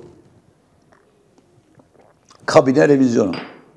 Onu yapar. Hani sanki konuşuyor. Hayır yani şu açıdan söylüyorum. Olmaz değil. Bu gazeteciler böyle hala şey kafasındalar. Yani konuşuluyor. Böyle yok öyle bir şey. Hani böyle bilgi veriyormuş gibi. Ben böyle konuşulmuyor. Adam ne yapacaksa yapacak zaten. Yani bunlar böyle tartışılmak, konuşulmak, efendim o olacak, bu olacak, kulis yaptı böyle bir şey yok. Olmaz da zaten. Haddine mi düşmüş? Bana söyle kimmiş? Ancak hükümet ile sokağın gündemindeki ayrışma dikkat çekiyor. İktidar partide yenilenme hedefine odaklanırken toplum uzun süredir devam eden olumsuz gidişatı değiştirecek kapsamlı bir anlayış değişikliği yapılmasını istiyor. Zihniyeti değiştir diyor. E şimdi siz ne kadar değiştirdiniz ki bilemiyorum yani. AKP kurucularının değil mi bu gazete? Albayrak dönüyor iddialarına dikkat çekiyor diyor. AK Parti 24 madde yapacağı olan büyük kongre için hazırlıklarını sürdürüyor. Erken seçim tartışmalarının kamuoyuna yansıdığı süreçte koltuk değişimine ilişkin değerlendirmeler gündeme geldi. Eski Hazine Bakanı Berat Albayrak'ın yeniden görev alacağına ilişkin iddialarda dikkat çekti. Parti yönetiminden bazı isimlerin kabineye kaydırılabileceği ifade edildi. Hey, Cumhurbaşkanı Erdoğan'ın yenilenme hamlesiyle yeni ivme hedefledi. Yenilenme. Ya nedir yenilenme? Yani ne oluyor? Bana bir söyleyin ya bu AK Parti dedikleri bu partide ne, ne yenilenmesi var? Tam tersi eskilenme var. Yani bir ara gerçekten hani böyle yenilenmiş gibi hani milli görüş gömleğini çıkarttık. Biz daha böyle e, liberal e, politikalar izleyeceğiz. Daha bağımsızlıkçı, özgürlükçü ve hukuktan yana. Var mı şimdi bunların? Daha bağımsızlıkçılar mı? Hayır. Daha özgürlükçüler mi? Hayır. İnsan haklarına riayet ediyorlar mı? Hayır. Demokrasiye uyuyorlar mı? Hayır. Hukuk umurlarında mı? Hayır. Devlet yönetiminde ciddiyet umurlarında mı? Hayır. Bunlar eskiye dönüş. Daha doğrusu iyice eskiye dönüş. Biz var ya Altaylardan filan daha oralardalar işte. Ya onlar da kendi dönemlerine göre ileri. Bak o ya mesela 1800 yıl öncesine göre çok ileri bir parti AKP. Püf, acayip. Ama o güne göre çok ileri. 10 yıl ileri tabii. Yani mesela 1800 yıl önce ne oluyor? 1100 mi oluyor? 1200 mi oluyor mesela? 1200 yılına göre 30 yıl filan ilerideler. Yani gene ilerici parti. Ama işte oraya göre. Allah'ım yarabbim. Yenilenmemiş. Albayrak dönüyor mesela lafları var ya. Albayrak önce bir ortaya çıksın abi. Yani koskoca Cumhurbaşkanı değil mi? o bile açıkladı. Damat kadar başınıza taş düşsün. Şimdi mesela diyorlar ki dün de öyle bir şey oldu da bir grupta. Dün dediğime bakmayın. Cuma ya da cumartesi.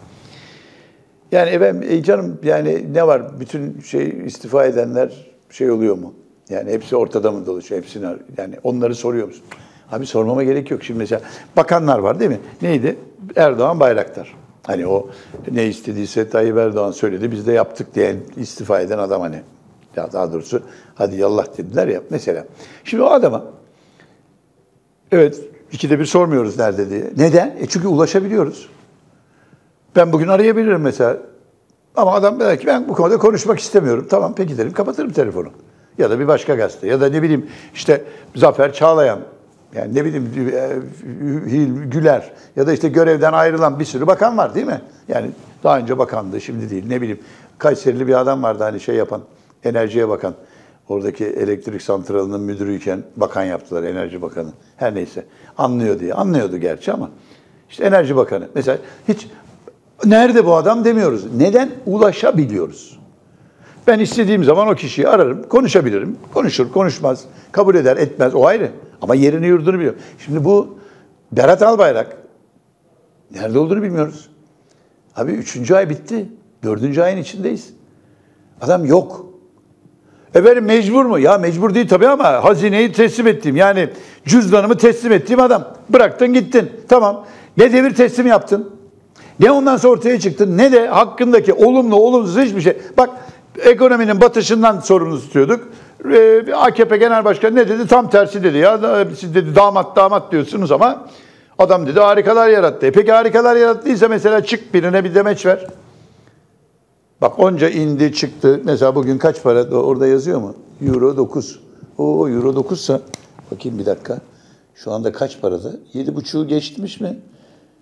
Al 7.56. 7,5 yani 7,5'u geçmiş biraz. Ve yükselişte görünüyor. Efendim Euro'da 9 küsur. Bak şimdi gelecek. Aa, orada siz de tam geldi göreceksiniz. 7.56 mı? Öyle bir şey. Dolar 7.56 şimdi.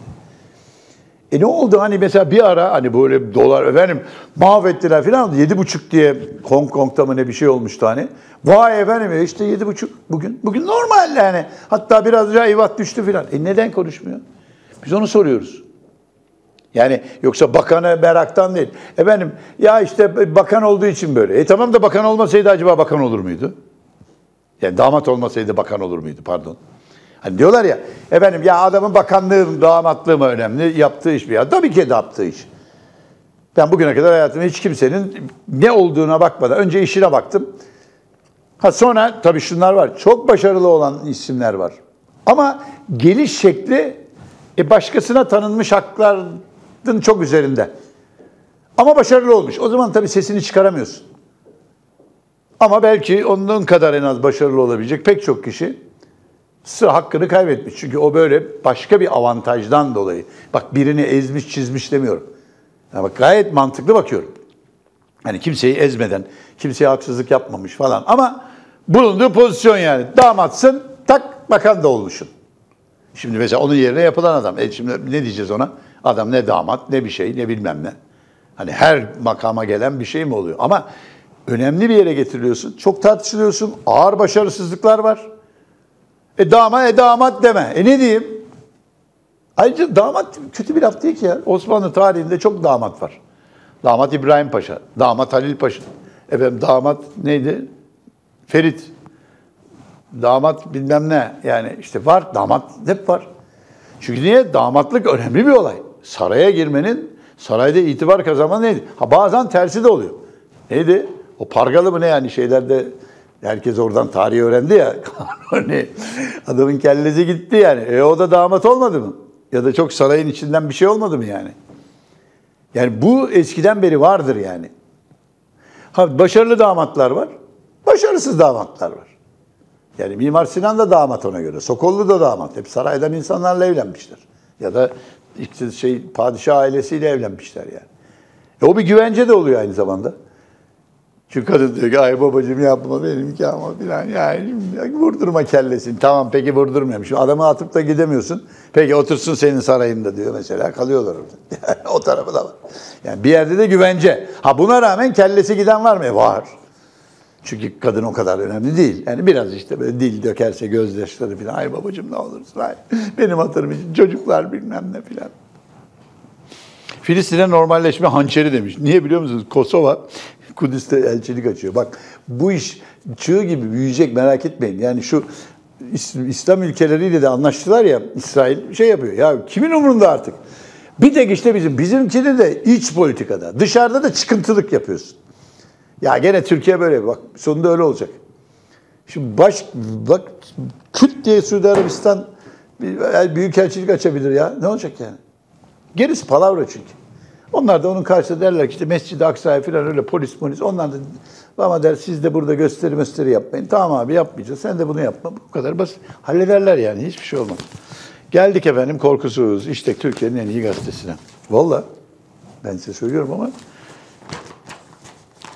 yazarları falan hepsinden daha iyi söyleyeyim. Yani ben varım diye söylemiyorum ama hakikaten daha aktif, daha şey Efendim köle işçilik dönemi diyor. Ekonomi paketinde konulan bir madde sendikaları korkuttu. Emekçinin yine uykuları kaçtı. Ekonomi paketinde yeni nesil çalışma yöntemleri yaygınlaştırılacak ifadesiyle yeni nesil köle işçiliğin açı, ömrünün açılması endişe ediliyor. Bak doğru yeni nesil diye bir laf koyuyor. Neymiş bakalım. İktidar işçi sendikalarının tepkisi üzerine 25-6-50 yaş üstü çalışanları adeta köle işçiye dönüştürecek düzenlemeyi Türkiye Büyük Millet Meclisi'nde geri çekmek zorunda kalmıştı. Ancak ekonomi reform paketine esnek çalışma ile ilgili iki madde koydu. Bu kritik maddeler sendikaları endişelendirdi. Erdoğan'ın açıkladığı paketteki uzaktan çalışma ve kısmi süreli çalışmaya yönelik detaylar işçi sendikaları cephesinde yeni tehdit riski olarak algılandı. Emekçiler yeni nesil çalışma yöntemleri yaygınlaştırılacaktır ifadesiyle yeni nesil köle işçiliğinin önünün açılmasına endişeli. Hiç kuşkunuz olmasın zaten onun için yapıyorlardır. Bu gözler bugünkü kabine toplantısı. Hayda bugün gene o akşam miting var bütün Türkiye'de. Gene bizim bütün bu saray medyası e, işte bir saat söyleyecekler onlara. Yani Fahrettin Altun haber verir onlara. Der ki arkadaş şu saatte itibaren siz geliyor şeylerine bakın. O bir saat, bir buçuk saat sürüyor biliyorsunuz. Tayyip Erdoğan az sonra açıklama yapacak diye bir kürsü fotoğrafı koyuyorlar. Yani görüntüsü. Bir ara sıra arkadan biri geçiyor. Biri geliyor böyle mikrofonu düzeltiyor. Şöyle alıyor derken biri su getiriyor. Sonra 15 dakika sonra o su değişiyor filan. Ama ekranda hep var. Burada haberler altta devamlı şey. Cumhurbaşkanı az sonra açıklayacak. Az sonra açıklayacak. Sonra klasik olarak şu oluyor. E, Cumhurbaşkanı diye adlandırılan, e, görevi öyle olan AKP Genel Başkanı geliyor, kürsüye çıkıyor. CHP zihniyeti. Bunlar, onlar şerefsizler, haysiyetsizler, geride bilmem teröristler, hainler, dış güçler, işbirlikçiler, çukurlar, nesebi gayrim sahihler filan diye konuşma yapıyor. Son iki dakikaya girildiğinde de e, sokağa çıkma yasaklarını şöyle yaptık. Bu arada da bunu böyle yapıp da böyleyken böyle oldu. Kadefler açtık. Hadi eyvallah diye gidiyor. Senin aklında kalan ne? Aslında bütün o tantana şey için. Yani o hangi lokanta açılıyor, hangisi kapanıyor öğrenmek için yapılıyor ve fakat bir saat önceden böyle teaser dediğimiz geliyor, geliyor, geliyor az sonra şimdi gelmek üzere ey vatandaş ve bütün ahali ekran başlarına tabii o arada Türkiye'de yayın yapan 140 kanaldan 130 tanesi zaten canlı yayında. Ondan sonra geliyor konuşup böylelikle dünyanın en büyük mitingini yapmış oluyorsun. Çünkü o kadar çok gel vatandaş gel, koş vatandaş koş yapılıyor ki iyi kötü hepimiz ben de dahil bir bakıyorum aman ne oluyor diye.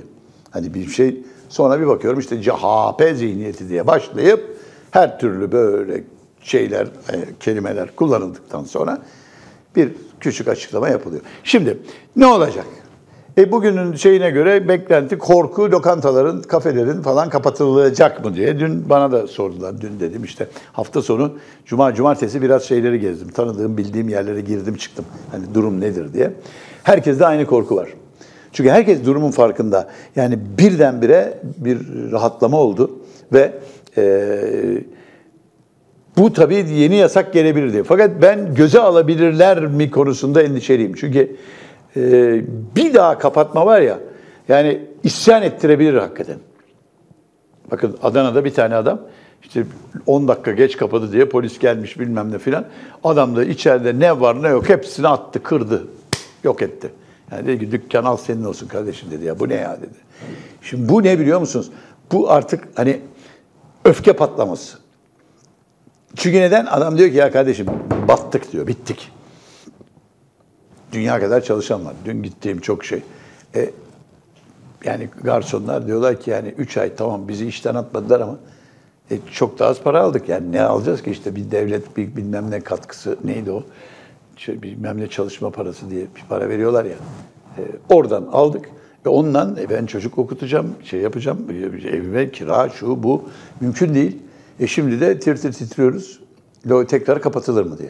Şimdi tekrar kapatılırsa bu kez öfkenin önünde duramazlar. Şimdi e, bu AKP iktidarının şey takımı da hani bu propaganda bilmem ne işlerine bakanlar bu durumu çok iyi gözlüyorlar. Ya zaten korkunç bir oy düşmesi var. Öyle böyle değil. Bakın bir şey söyleyeceğim. AKP'deki erime korkunç. Sadece çaresizlik var. Benim pazar günkü korkusuz yazım başlığı şuydu. En büyük parti. Yeter ki gitsinler. Şu anda o oldu. Hani böyle şeyler var ya şimdi tartışılıyor ya işte aday o ay vay niye Mansur Yavaş istemiyor? O biri diyor ki İmamoğlu o biri.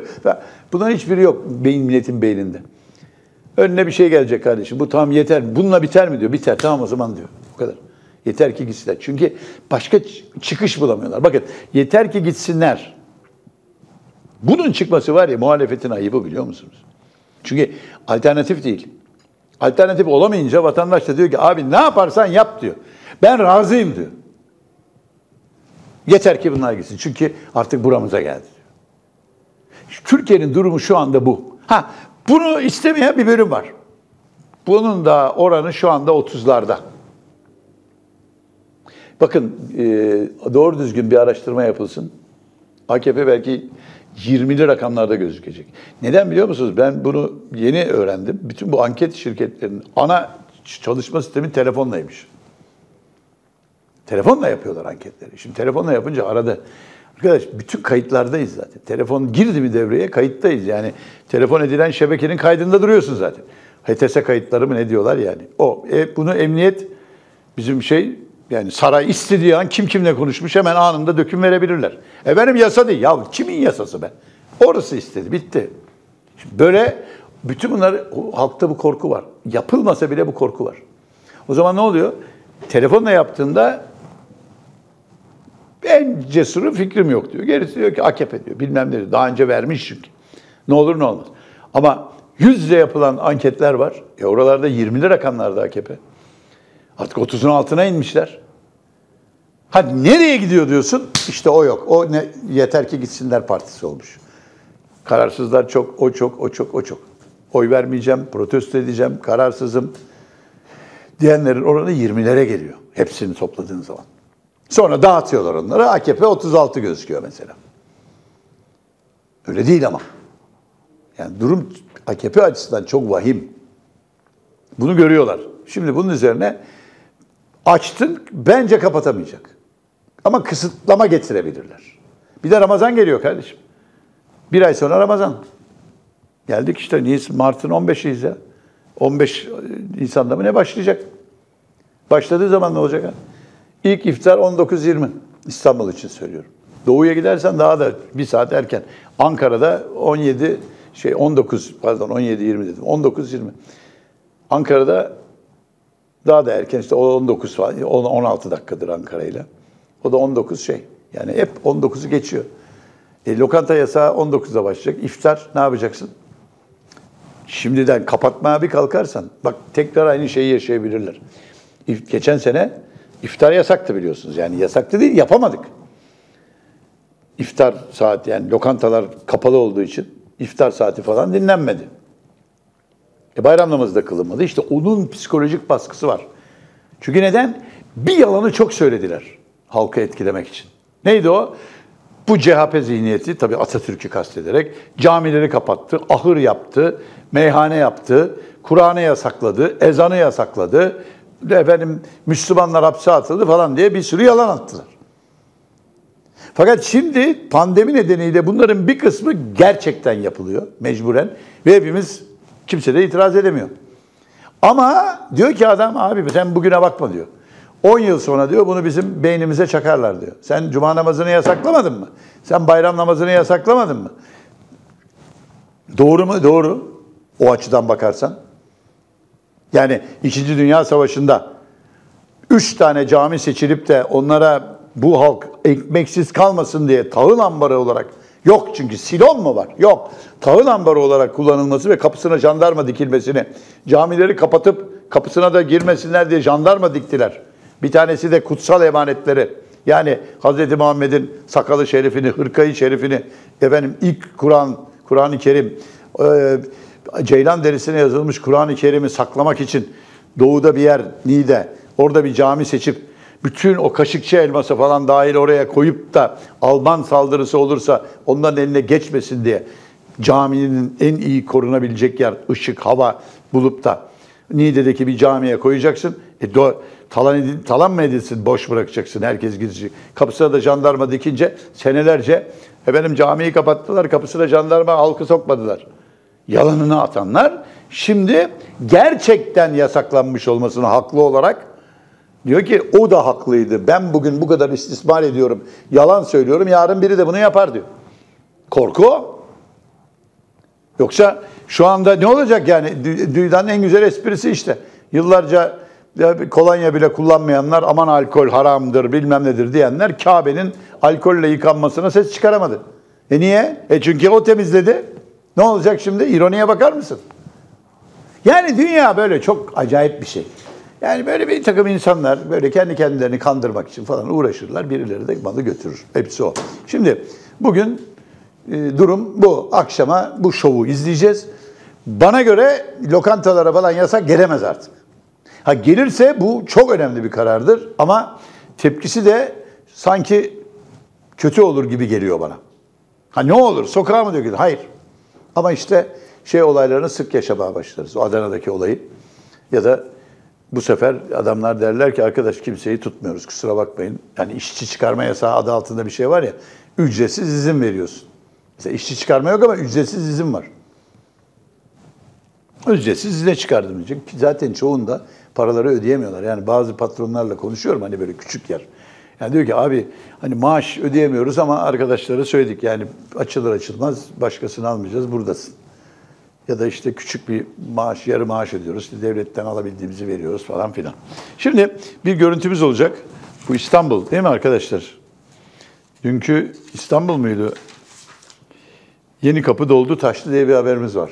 Şimdi bakın buradan ben de dün şaşkınlık içinde izledim. Yani akıl alır bir manzara değildi. Yani dünkü İstanbul bir gün önceki İstanbul'a hiç farkı yoktu.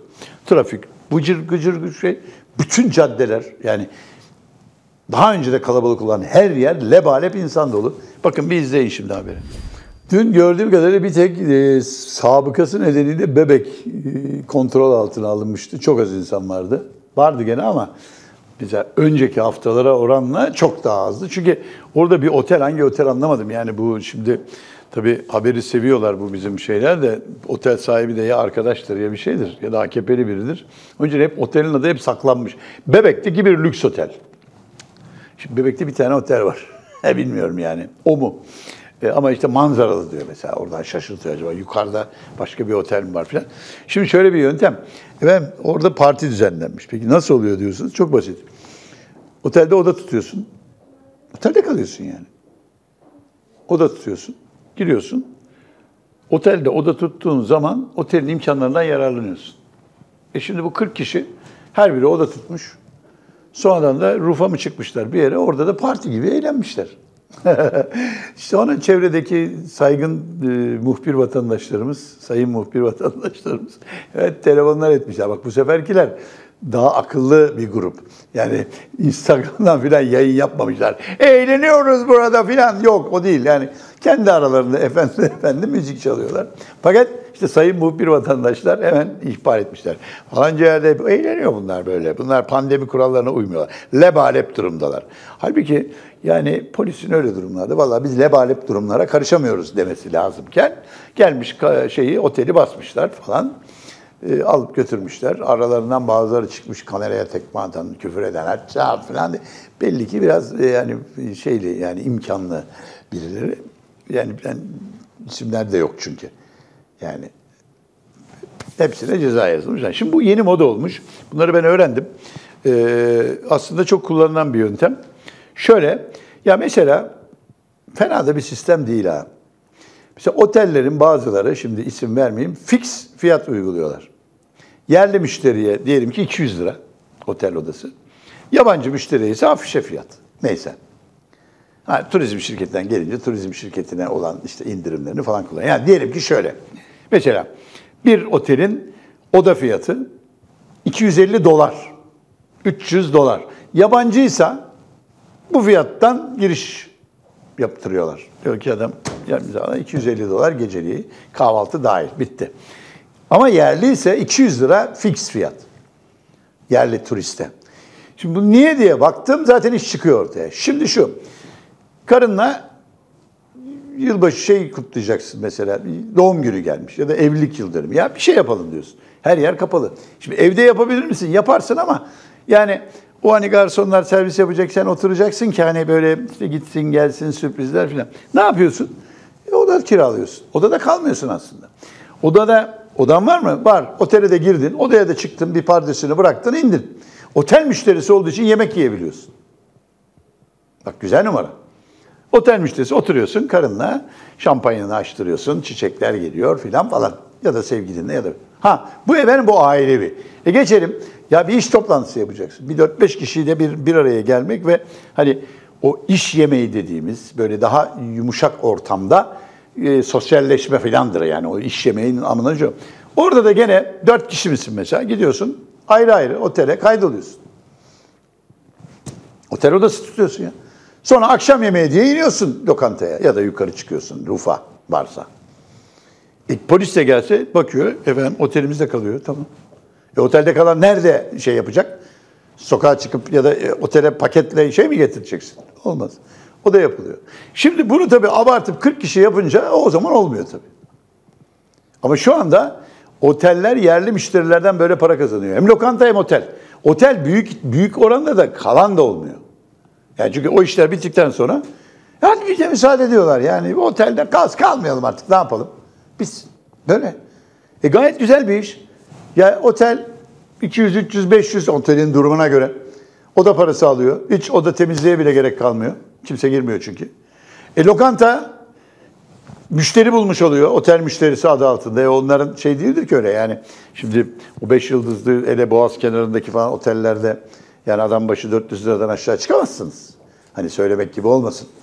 Soruyoruz biz de bunları yani. Gitmiyoruz da soruyoruz ama. Diyorlar ki adam başı 400-500. E onlar da kazanıyor.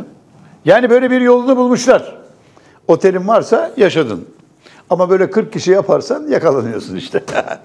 Öbürüne çok da kızamıyorum bak söyleyeyim. Hile mi hile. Ama çok da zararlı bir hile değil. Yani kaynaşmıyorsun.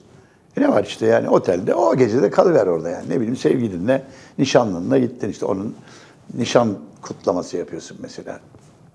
Baş başa yemek yedin. Kime ne? Bir şey olmaz yani. Çünkü otelde kalan yemek yiyebiliyorsa bir şey yok. Yani bunu uyguluyorlar onu demek istiyorum. Bursa Lev Alep kıpkırmızı diyor Korkusuz Gazetesi. Vaka 15 bine çıktı, renkler değişecek. Gözler bugünkü kabine toplantısında vakalardaki yükseliş nedeniyle bugün yapılacak kabine toplantısında risk haritasının güncellenmesi. Risk haritası güncellenecek de tedbirler ne olacak? 1 Mart'ta yapılan kabine toplantısında normalleşme adımları atan Türkiye son gelen verilerle diken üstünde. Son 24 saatte koronavirüs nedeniyle 65 kişi hayatını kaybederken 15.082 kişinin testi pozitif çıktı. Vaka sayısının 15 bini aşması mavi, düşük, sarı, orta, turuncu, yüksek, kırmızı çok yüksek renklerden oluşan risk haritasına ekleyecek etkileyecek. Bugünkü kabine toplantısı haritanın güncelleneceği belirtiliyor. Risk haritasında turuncu görülen bazı illerin kırmızıya dönmesi beklenirken yeni kısıtlamalarla yüz yüze eğitimle ilgili kararlar da bu toplantıda yeniden. Şimdi bakın hepsi birden geri adım atılacak mecburen. Geçen hafta da ilk çıktığında da burada bunu muhalefet için söylemiyoruz bakın. İşte bu iktidarlaki en büyük sorunumuz bu. Yani ben ve benim gibi olan muhaliflerin. Bunu bir düşmanlık gibi görüyorlar ya da bunu böyle bir hani her şeye karşı ya değil güzel kardeşim değil. Ama bazı şeyleri kabul etmek istemiyorsunuz. Sonra sonra geliyorsunuz. İşte şimdi bugün bir ihtimal diyorum ki az ihtimal çünkü yani zaten oyları böyle 30'un da altına inmiş gözüken AKP ve saray şeyi bunu göze alamaz gibi geliyor bana. Lokantaları kapatmayı. Çünkü çok büyük bir sektör. Yani ya adım başı gıda yeri var. Ha tamam bunların bir kısmı bu kurallardan çok memnun. Ben size söyleyeyim kimler? Zaten hep paket işi yapan yerler vardı. Dönerciler, kebapçılar, dürümcüler, pizzacılar. Bunlar çoğu hani müşteriden ziyade paket olsun diyorlardı zaten daha kolay. Çünkü tabak, çanak yıkama, şu bu falan hiçbir şey olmuyor. Yani bakın öyle bakın bir de. Şimdi 100 kişi lokantaya girdi çıktı. 100 tabak. Daha doğrusu 200 tabak. ikişer tane servis servis. Çatallar, kaşıklar bilmem neler filan. Ama paket işine girdiniz mi iş çok kolaylaşıyor. Yap paketi gönder, yap paketi gönder. Bir tek motorcu işte o ortalık motorcudan geçilmiyor. Tamam hepimizi kızdırıyor bazen yüreğimizi ağzımıza getiriyor. Benim çok başıma geliyor. Rıp diye çıkıyor, tersten gidiyor bilmem ne. Niye? Çünkü bir an evvel yetişecek ki ona göre prim alıyor. Onlar puanlama yapıyorlar. Çok kötü bir şey. Olay oldu sonunda. Yani bir hayli ölen var bir yılda. Yani farkında değiliz ama yüzün üzerinde motorcu ölmüş. Kazalarda. Çünkü oradan oraya, oradan oraya bir de o bir de yüklüyorlar. Denge bozuluyor. Yani hepsi çok usta motorcu değil ki arkadaki kutuların içine diyelim 10 kilo götürdüğün zaman denge güzel. 12 kilo, 13 kilo koydun mu yük yük e o şeyde o her zamanki gibi şöyle yaptığımda çat diye geçeceğim diyor. Böyle bir yatıyor tak yatıyor. Sonuç olarak onlar var. Çok memnun olanlar var. Çünkü onlar açıldı dedi mi millet rahatlıyor. Paket işi düşüyor. Çünkü niye gidiyor yiyor bazı şeyleri. Başka yerlere gidebiliyor. Paketçilerin işi zor. Ama yani çok e, riskli bir karar olur. Yani ben şey olarak beklemiyorum. Lokantaları, kafeleri kapatacaklarını beklemiyorum. Hani belki bir şey içkili yerleri tümüyle şey yapabilirler. İçki veren yerleri bir kısıtlama daha getirir. Yani onlarda da mesela 16'da keseceksin içki vermeyi der mesela. Hani 19'da. Çünkü efendim işte kalkıyordu içki son yudum alıyor falan olmasın diye. 16'da içki servisini kaldıracaksın diyebilir mesela. Yapabilirler bunu. Öyle bir laf duydum birinden. Ha bu doğru bir bilgi değil ama yani duydum. Efendim Atatürk Parkı'nda liman yaptırmayız diyor. AKP'nin yeni yat şey liman projesine vatandaş isyan etti. Nerede bu? Atatürk Parkı'nda bir araya gelen onlarca Mersinli, bak görüyor musunuz? Mersin'le ilgili bir şey oluyor. Bak sayılar onlarca Mersinli'ye düştü. Onlarca. Yani orası için bile işte anca 100 kişi bulabiliyorlar. Onlarca o demek. 100 ve altı. Yani 150-200 kişi için onlarca kullanılmaz. Çok sayıda dersin, yüzlerce bile dersin ama işte yüzün altı. Neyse. Atatürk Parkı'nda bir araya gelen onlarca Mersinli, Mersin'de ranta geçit vermeyeceğiz diye aykırdı. Hayt güleyim bari. Bak bakalım veriyor musunuz, vermiyor musunuz? İyileştirmek için söylemiyorum. Yani biraz gırgırı alarak söylüyorum ama birileri para kazanacaksa ve bu kazanacak olan da bu zihniyetse, bildiğimiz zihniyetse e, çok kolay engel olunmuyor işte. Her talan oldu mu hiç dinlemiyorlar. Sen gösterini yapıyorsun. Bak İstanbul'da oldu. Gösteri için mesela arabaları böyle girişe park ettiler çekilmesin diye. Arabanın içindekilerle beraber geldi çekiciler kaldırdı götürdü. Bir de park cezası ve hatalı parktan dolayı da ceza kesip bir de çekici parası aldılar. Hiçbir şey olmadı. Kimse aa filan çünkü baş başa kalıverdi. Tek kişi kaldı. Arabası çekildi götürüldü. İçindeki kadın tek başına kalıverdi orada. E zaten o çektikleri yerler mafyavari yerler böyle. Hani arabanı çektiler bir giriyorsun. Buyur kardeş diyor böyle bir tane. Ne vardı diyor. Araba. Kaçtı plaka? Ha şurada. 125 lira çekici parası. E peki diyorum yani ceza yazarım. Ceza da mı istiyorsun? Vay. Tabii o diyor sonradan geliyor eve ceza. Onu orada ama parkçı, otoparkçı parayı peşin alıyor ve mesela o günce otoparka araba bırakırım ben de. Her yerde böyle eli yüzü düzgün, gülen insanlar. Ama bu trafikçilerin bıraktığı parklarda tam böyle hani adam böyle bir şeyden rockçıyla konuşuyorsun lan deyip aldığının ortasına tabanca sıkacak tipler. Zaten çoğu mafyavari ilişkileri olanların yerleri. Onu da anlamıyorum ben. Çünkü o iş çok büyük bir iş. O 7M'in parkı mı ne diyorlar? Ha onlar onlar zaten düzgün adamların yapacağı iş değil. Yani orada var hep bir numara. Anlamıyorum nedir ama hakikaten bak bir gün arabanız çekilsin. Şu aralarda gene çok çekiyorlar böyle. Bir çekilsin yani istemiyorum başınıza gelmez ama bak bir gidin görün parkları. Abi oralara bir çekilsen verin. ya. Oralarda bir- olabilir araba çekilir gelirsin. Aynı başka parktaki buyurun efendim falan.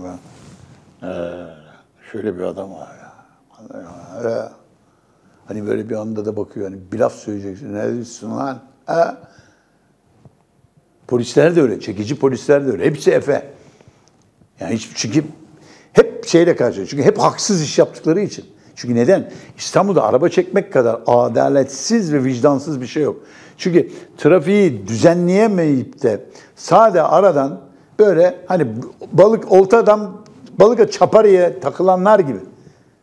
Hep taraf balık dolu. O, o beş tane çekiyor. Hop, onları alıyorlar ya yukarı. Ha işte aynı onun gibi araba çekiyorlar. Neden? Benim arabamı çektiği an bir başka arabaya park yeri açıyor herif. Yolu boş tutamıyorlar. Bir tek koşulda yolu boş tutuyorlar ve çekiciler çektiği zaman bir şey diyemiyorsun. O da AKP Genel Başkanı bir yerden bir yere gidecekse ha işte o zaman o polisler hiçbir şekilde ne park olabiliyor ne bir şey hiçbir şey olmuyor. Yollar pırıl pırıl açık. Hah. Şimdi bunu bunu bütün gün ve aylar ve yıllar içinde beceremiyorsan araba çekmeyeceksin. E bir tek o da belli bölgede. Oradan eğer AKP Genel Başkanı lütfedip de o yolu kullanacaksa e o zaman işte orada ve pırıl pırıl oluyor yollar. E nasıl oluyor bu iş? Hah.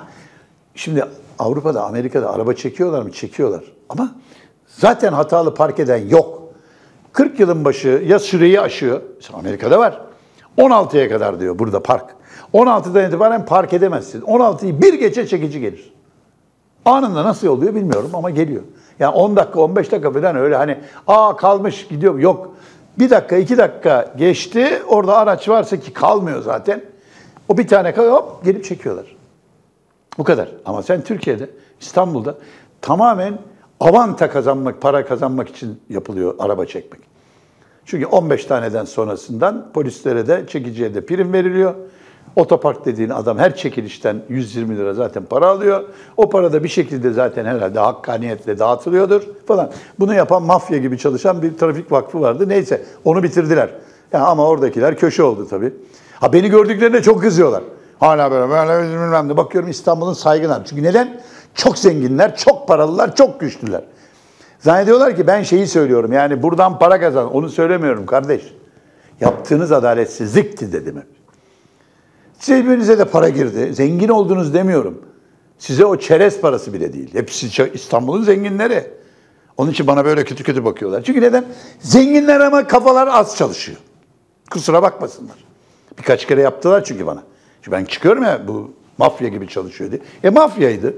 Trafik Vakfı sonunda bu iktidar bile anladı mafya olduklarını. Dedi ki ulan burada çok para var onu ben kendime alırım. Sana niye vereyim? Hepsini dağıttı. Ha şimdi normal trafik olarak çekiyorlar. Ama diyorum ki gene adaletsiz, gene vicdansızca falan falan. Geçelim. Bu çok kötü bir haber var burada. Genç çift banyoda ölü bulundu. Büyük ihtimalle gaz sızıntısı ama nasıl oluyor bilmiyorum. Yani yani biri 36 yaşında, öbürü 30 yaşında.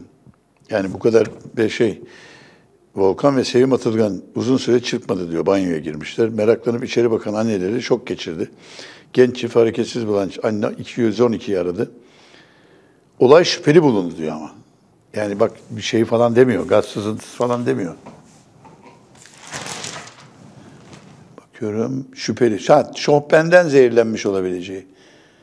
Olabilir mi? Olabilir tabii. Çok kötü. Vah vah. Köşeme sonradan geleceğim. Gazete turunu bitirelim. Bu durum ne? Hangi durumdayız? Bir dakika. Yeni bir şey var mı arkadaşlar? Yeni bir haber var mı? Bakıyorum bir dakika. Şöyle bir yenileme yapayım da. Hop hop. Bu ne ya? Denetimde hakaretler savunan dört yol kaymakamı. Ne demiş? Hatay dört yol kaymakamı Ali Murat Kayhan koronavirüs denetimi sırasında çevresindekiyle bu çakallara niye böyle yapıyorsunuz? Nerede lan buranın sorumlusu demesi tepki çekti. Ay çok fena. Bir minibüsteki yolcudan fazla olmasa tepki gösteren kaymakam Kayhan hakaretler savurdu. Görüntülerde kaymakam Kayhan'ın bu çakallara niye böyle yapıyorsunuz? Ne biçim iş ya? Nerede lan buranın sorumlusu? Çağır bir tane minibüsü gelsin bu vatandaşı götürsün. Terbiyesiz herifler sizi ya. Bu nerenin şeyi ya? Sizin mi ya? Filan demiş. Şimdi büyük bu dört yol e, belediye başkanı acaba CHP'li mi? Çünkü kaymakamların öne çıkıp böyle şovlar yaptığı yerlerde genellikle muhalif belediyeler oluyor.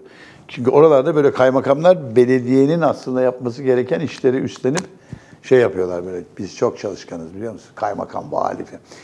Dünyanın en lüzumsuz işleri yapılıyor. Yani kaymakam, belediye başkanı. Bugünkü şeyde bilmiyorum yani acayip bir durum. Vali, İstanbul valisi. Ne, ne işe yarıyor ki sonuç olarak? Hani hangi hizmeti yapıyor? Belediye niye var o zaman? Ha neleri yapıyor? Devlet kurumlarının şefliğini yapıyor. Ama her şeye karışıyor. Belediye başkanı mesela gidecek ne bileyim Lüleburgaz'a gidecek yakın. Ya da Silivri'yi bir parça geçecek mesela. Böyle bir validen izin almak zorunda filan. Böyle saçma şey olur mu ya? Ha, belediye hakikaten ben görevleri ben anlayamıyorum artık. Yani çünkü eskiden devlet işleri falan gider. Böyle vali, kaymakam filan dediğin zaman böyle çok fazla şey olmazlardı bunlar. Yani iktidar adına çok fazla şeycilik yapmazlardı. Hani yardımcılık etmezler. İşlerini görürler. Şimdi öyle değil.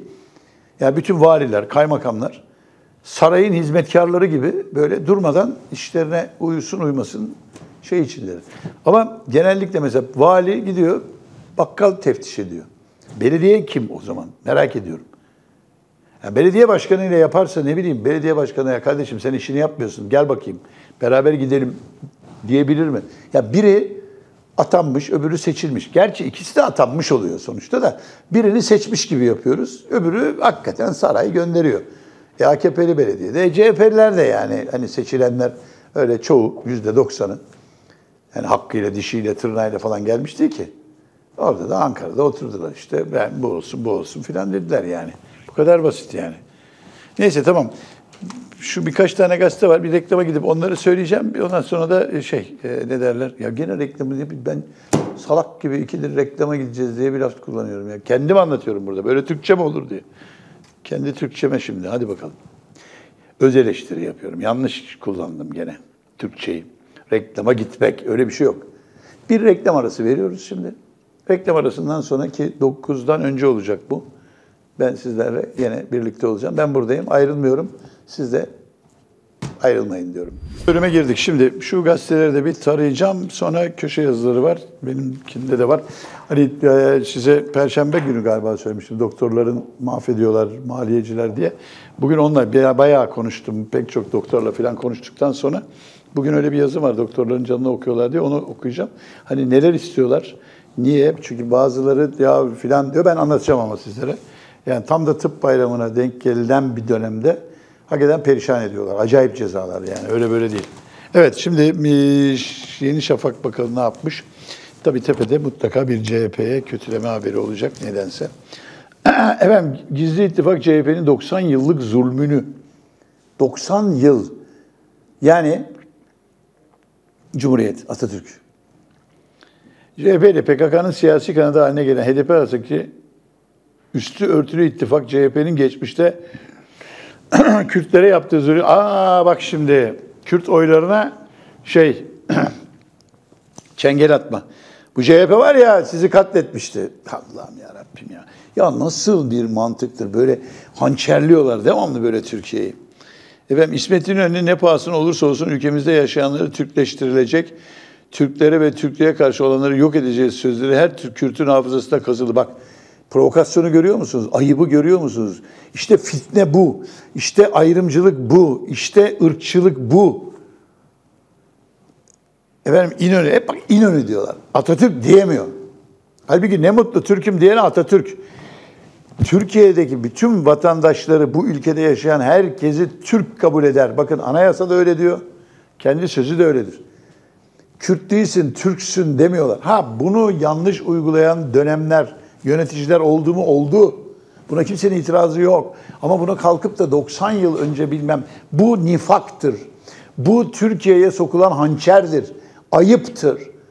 İnönü demiş ki herkes Türkleşecek o kadar bilmem ne. Hayır bakın buna rağmen o ırkçı Turancı hareket niye olmuş mesela Türkiye'de? Eğer böyle olsaydı devlet ideolojisi hani öyle diyelim resmi ideoloji bu olsa idi. Turancılık, Türkçülük, efendim Alparslan Türkesler, Nihat Atsızlar nasıl çıkardı ortaya? Ya zaten devlet politikası bu. Ekstradan bir Turancılığa gerek var mı? Hayır. Çünkü devletin politikası o değil. Devletin yaptığı, Atatürk'ün kurduğu, Cumhuriyet'in yaptığı şu.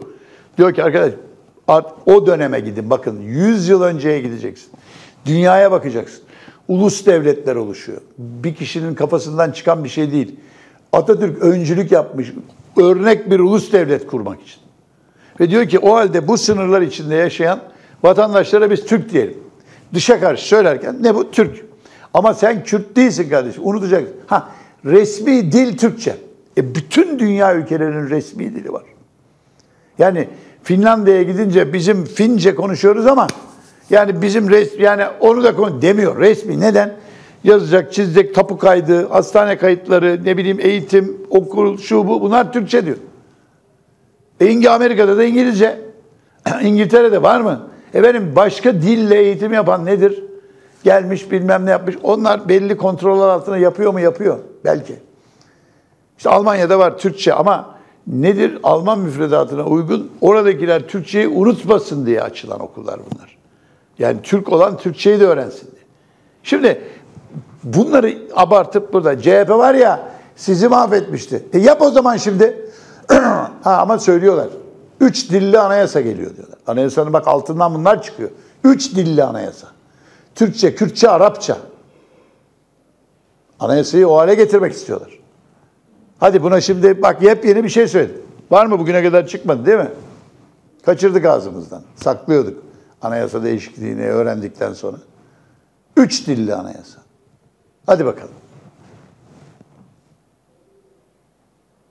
Ya şaşırdınız değil mi? Türkçe, Kürtçe, Arapça bak Arapça girdi. Neden?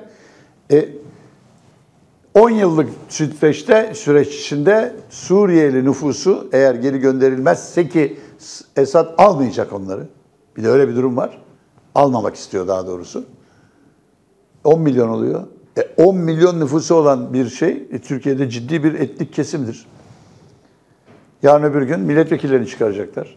Türkçe bilmeyen, Arapça bilen milletvekili seçilecek mesela. Çünkü Türkçe bilmek diye bir şey yok orada. Türk vatandaşı olmak var. Yani milletvekili seçilebilmek için Türk vatandaşı. Bu iktidar anayasada onu da değiştirebilir. Türkiye'de yaşamak diyebilir. Ama üç dil diyor. Arap da gelecek, Suriyeli seçecekler orada. Nasıl mesela Güneydoğu bölgesinde Kürt ağırlıklı milletvekili 40, 50, 60 kişi geliyor. Aynı şekilde buralardan da Arap ağırlıklı, Suriyeli ağırlıklı 30 milletvekili gelecek. Ve adam gelecek orada diyecek ki ben Türkçe bilmiyorum. Ne olacak? Ben Arapça yemin ederim diyecek. Belki şeyler diyecek, üç nüsa olsun. Önümüze gelecek olan kanun teklifleri Kürtçe, Türkçe, Arapça.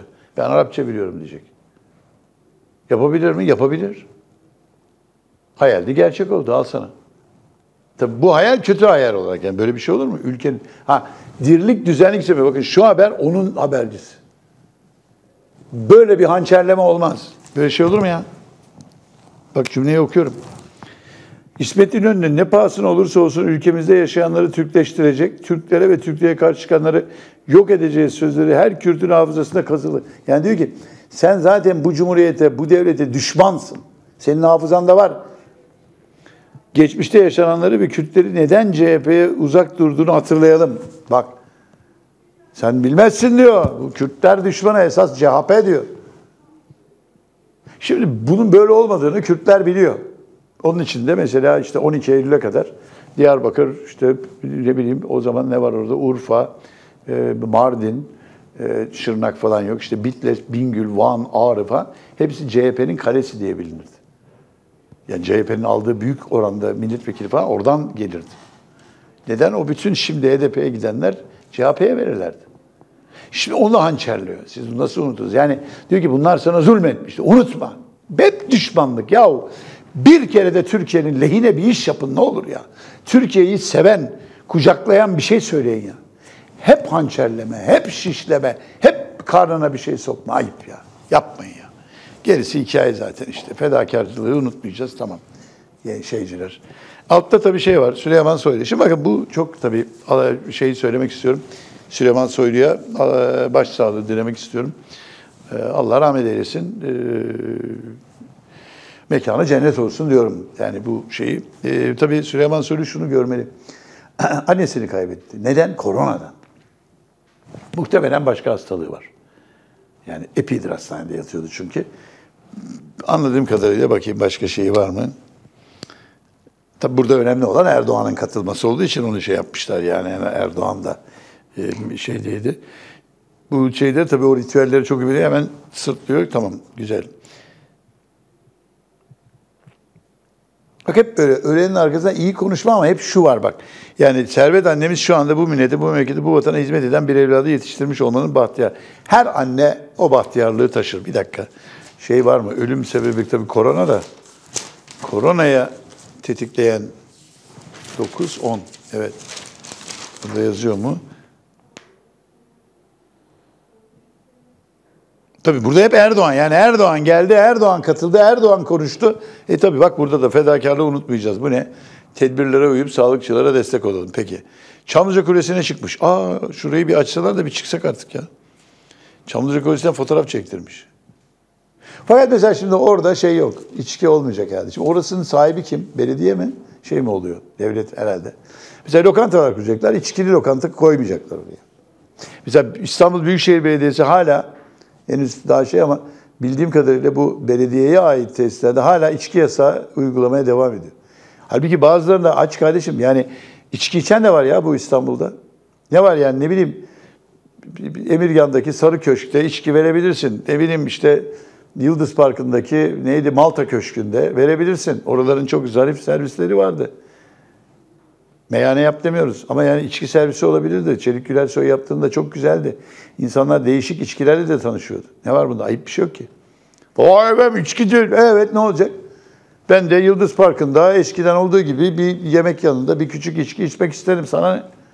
Belediyeyi anlamıyorum yani yasağı niye sürdürüyorsun? Bakın hiçbir şey değişmedi İstanbul'da. Sonra bana diyorlar gel niye be? En iyisi bu işte. Bir tanesi. Sen niye devam ettiriyorsun? Çünkü onlar içki yasağını bir, bir amaçla koydular. Dinsel nedenle koyuyorlar kardeşim. İçki yasağını böyle bir o şey değil. Adam diyor ki yani ben hayır diyor. E koy ismini işte İstanbul'da. Mesela Ankara'yı bilmiyorum. Ankara'nın şeylerinde var mı? Hani onun da var mıydı? Ama yani ben demiyorum hepsi. Ama Boğaz'da e bildiğim 4-5 tane belediyeye ait yer var. E bunlardan biri hepsi balık veriyor, et veriyor filan. E balık lokantası var. E bunlardan birini içkili yap. Niye yapmıyorsun? Hani burada cesareti mi yok? Onu anlıyorum ben. Çünkü korkuyorlar. Manşete ay efendim başkan içkili yer aç, açar. Yok muydu kardeşim? Daha önceki belediyeye ait olan yerlerde AKP'ye kadar içki servisi var mıydı? Vardı. Çoğunda vardı. Ben burada hatta diyorum belediye başkan adaylığım söz konusu bunları hep söyledim. Bazılarını tutarım, bazılarını veririm. Evet bazı yerler artık çok bütünleşmiş. Halk da çok. E, tamam yani çok kalabalıkların gittiği yere Türkiye için söylüyorum. Dünyada tabii aptalca bakıyorlar lan böyle manyak bir şey olur mu diyorlar da o ayrı ama hani Türkiye'nin koşullarını düşünelim. İçki içmeyi istemeyen insanlar var. Kabul, buyur. Beltur'un yerleri var. Buraya, buraya, buraya, buyur tamam. Boğazın kenarında püfür püfür. Keyfini sür, çayını iç, kahveni iç. Ama öbüründe, onda da var. O da öbüründe sürsün sefasını. Bütün öğretmen evlerinde kaldırdılar mesela. Öğretmen evlerinde içki yok. E ne oluyor yani içki yok kaldırınca? Ha, dinsel nedenle kaldırıyor ama. Kötü olan o. Zaten başka nedenle kaldırıyorlar. Neye uyduruyorlar ama? İşte bir şey buluyor. Efendim işte gençleri koruma ya da işte kamu, kamu düzeni ne alakası var? Ama dikkat ediniz çekiyor değil mi? Yani pandemik koşullarında bir de içki yasağı koyuyor adam mesela. Sokağa çıkma yasaklarında içki satışı yok. Gece ondan sonra içki satışı yok. Ne olacak? Yani gece ondan sonra almıyor da e zaten önceden tedarik ediyor. Aa, koskoca Türkiye'de belki 5 kişi çıkıyordur 11 ah ulan 10 oldu içki almadık diye. Öyle bir şey ne olacak? Herkes alır zaten. Neyi önlüyorsun? Ve belediyeler niçin hala bu yasakları uygulamaya devam ediyor? Ha? Niye? Mantığı ne? Ya işte AKP'den de oy alacağız be abi. Bizim başkan belki Cumhurbaşkanı adayı olur ya işte oradan. E öyle mi olacak yani? Peki içki içen bu sefer vermiyorum. Ha yok vermiyorum olmaz. Herkes Tayyip Erdoğan düşsün istiyor. Ha, bundan yararlanarak ben olmadık bir adamın Cumhurbaşkanı olmasını istemiyorum. Kendi hesabıma konuşuyorum. Bu kadar. Yeter. Evet geçelim bu gazeteyi. Sözcü. Şimdi gelelim. Sözcü. Türk'üm demekten onur duymuyorlar. Yılmaz Özdil andımızın kaldırılması için böyle dedi. Hep böyle diyoruz zaten. Defalarca sorduk. Özellikle ben AKP'ye demiyorum. Onlar Türk'üm desen olur, demesen olur. Böyle bir dertleri yok. Ama mesela o iktidarı ayakta tutan MHP var. Ben MHP'lilere çok merak ediyorum. Niçin Türk'üm demekten bu kadar çekiniyorsunuz? Neyiniz var? Yani Türk'üm deyince siz niye çok rahatsız oluyorsunuz? Bu bir ritüel. Türk'üm, doğruyum, çalışkanım, işte yurdumu, milletimi özümden çok sevmektir falan diye giden. Hani andımız var ya, Türk'üm, doğruyum, çalışkanım, yasam, Türk milletini korumak, büyüklerime, küçüklerime falan. Çok güzel. Neden? E AKP'lilere sormuyorum. Yani Türk'üm der, Kürdüm der, Arabım der, Boşnağım der. O bir şey zaten bu ülkede böyle bir sorunumuz yok bizim. Hiç olmadı.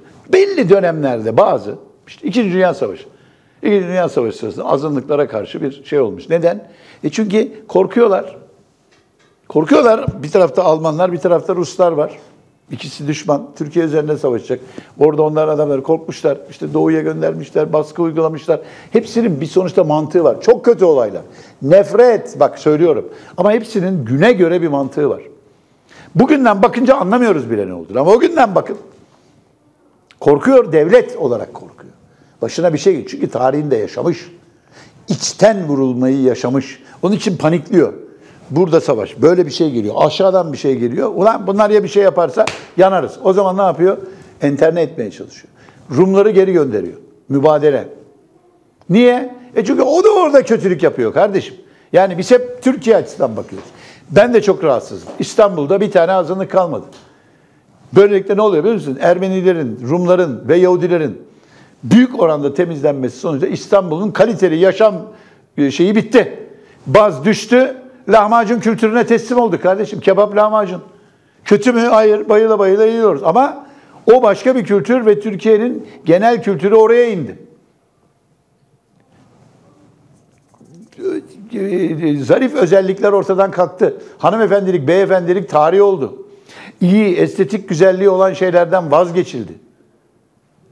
İyi lokanta bitti. İyi servis bitti. Güzel içki bitti. E bunlar oldu.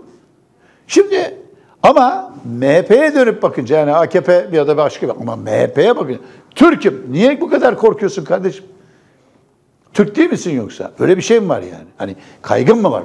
Niye Türk'üm demiyorsun? MHP cevap ver. Hakikaten çok merak ediyorum. Çünkü siz de ortak oldunuz. Evet dediniz, andımız kaldırılmalı. Mesela Atatürk'ü niye sevmiyorsunuz artık? MHP'lilere soruyorum. Öyle dayak atma falan gelmeyin ha. Hani böyle çünkü biliyorum yani akıl yetmeyince sopaları kapıyorsunuz ama bir dinleyin. Niçin Atatürk'ü sevmiyorsunuz artık? Bak şey çıktı ne madalyalarından bir madalyadan kaldırdılar ya Atatürk'ün de rolefli şeyi var üzerinde. Siz de onay verdiniz. MHP'lilere sesleniyorum. Niçin? Yani mesela Türklükte sorununuz ne? Gelin anlatın ya. Burada yani dövmeye gelmeyin ama bak. Sopalarla gelmeyin. 20-25 kişiyle çevirip adam dövmeyin. Gel burayı açık burası. İki şeyi soracağım. Bir, neden Türk'üm demek artık sizi çok rahatsız ediyor? Bir, cevap ver.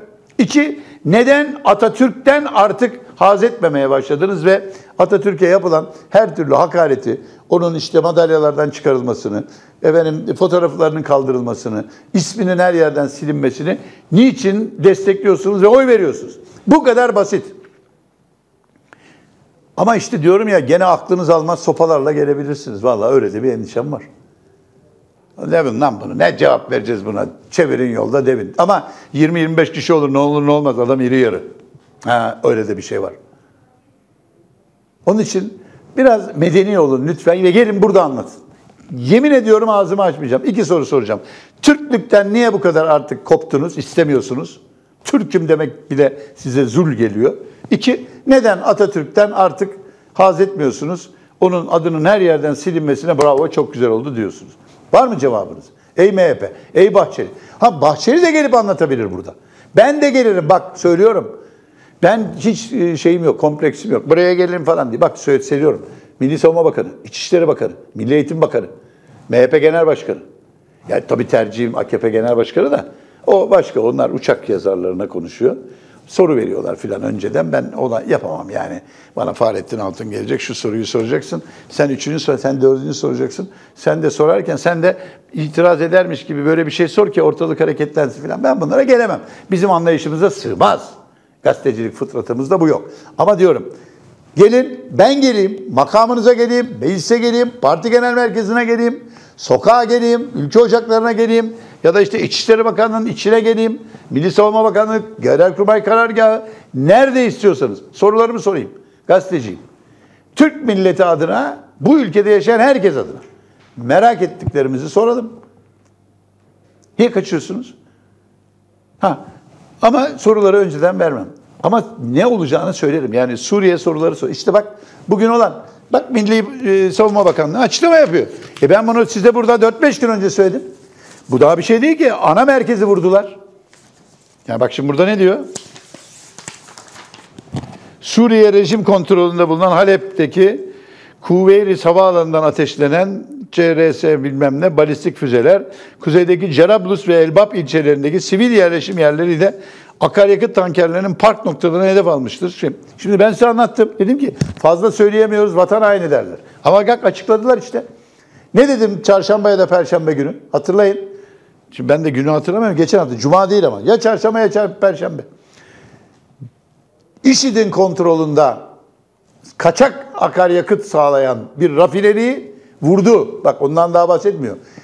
Sonra da ertesi gün zannediyorum çarşamba bunu söyledim. Perşembe de dedim ki bir de bu akaryakıt bütün tankerlerin toplanıp bu kaçak petrolü IŞİD'in kontrolünde ama. Kaçak petrolü götüren kamyonları vurdular. Ortalık yangın yeri her taraf yanıyor dedim.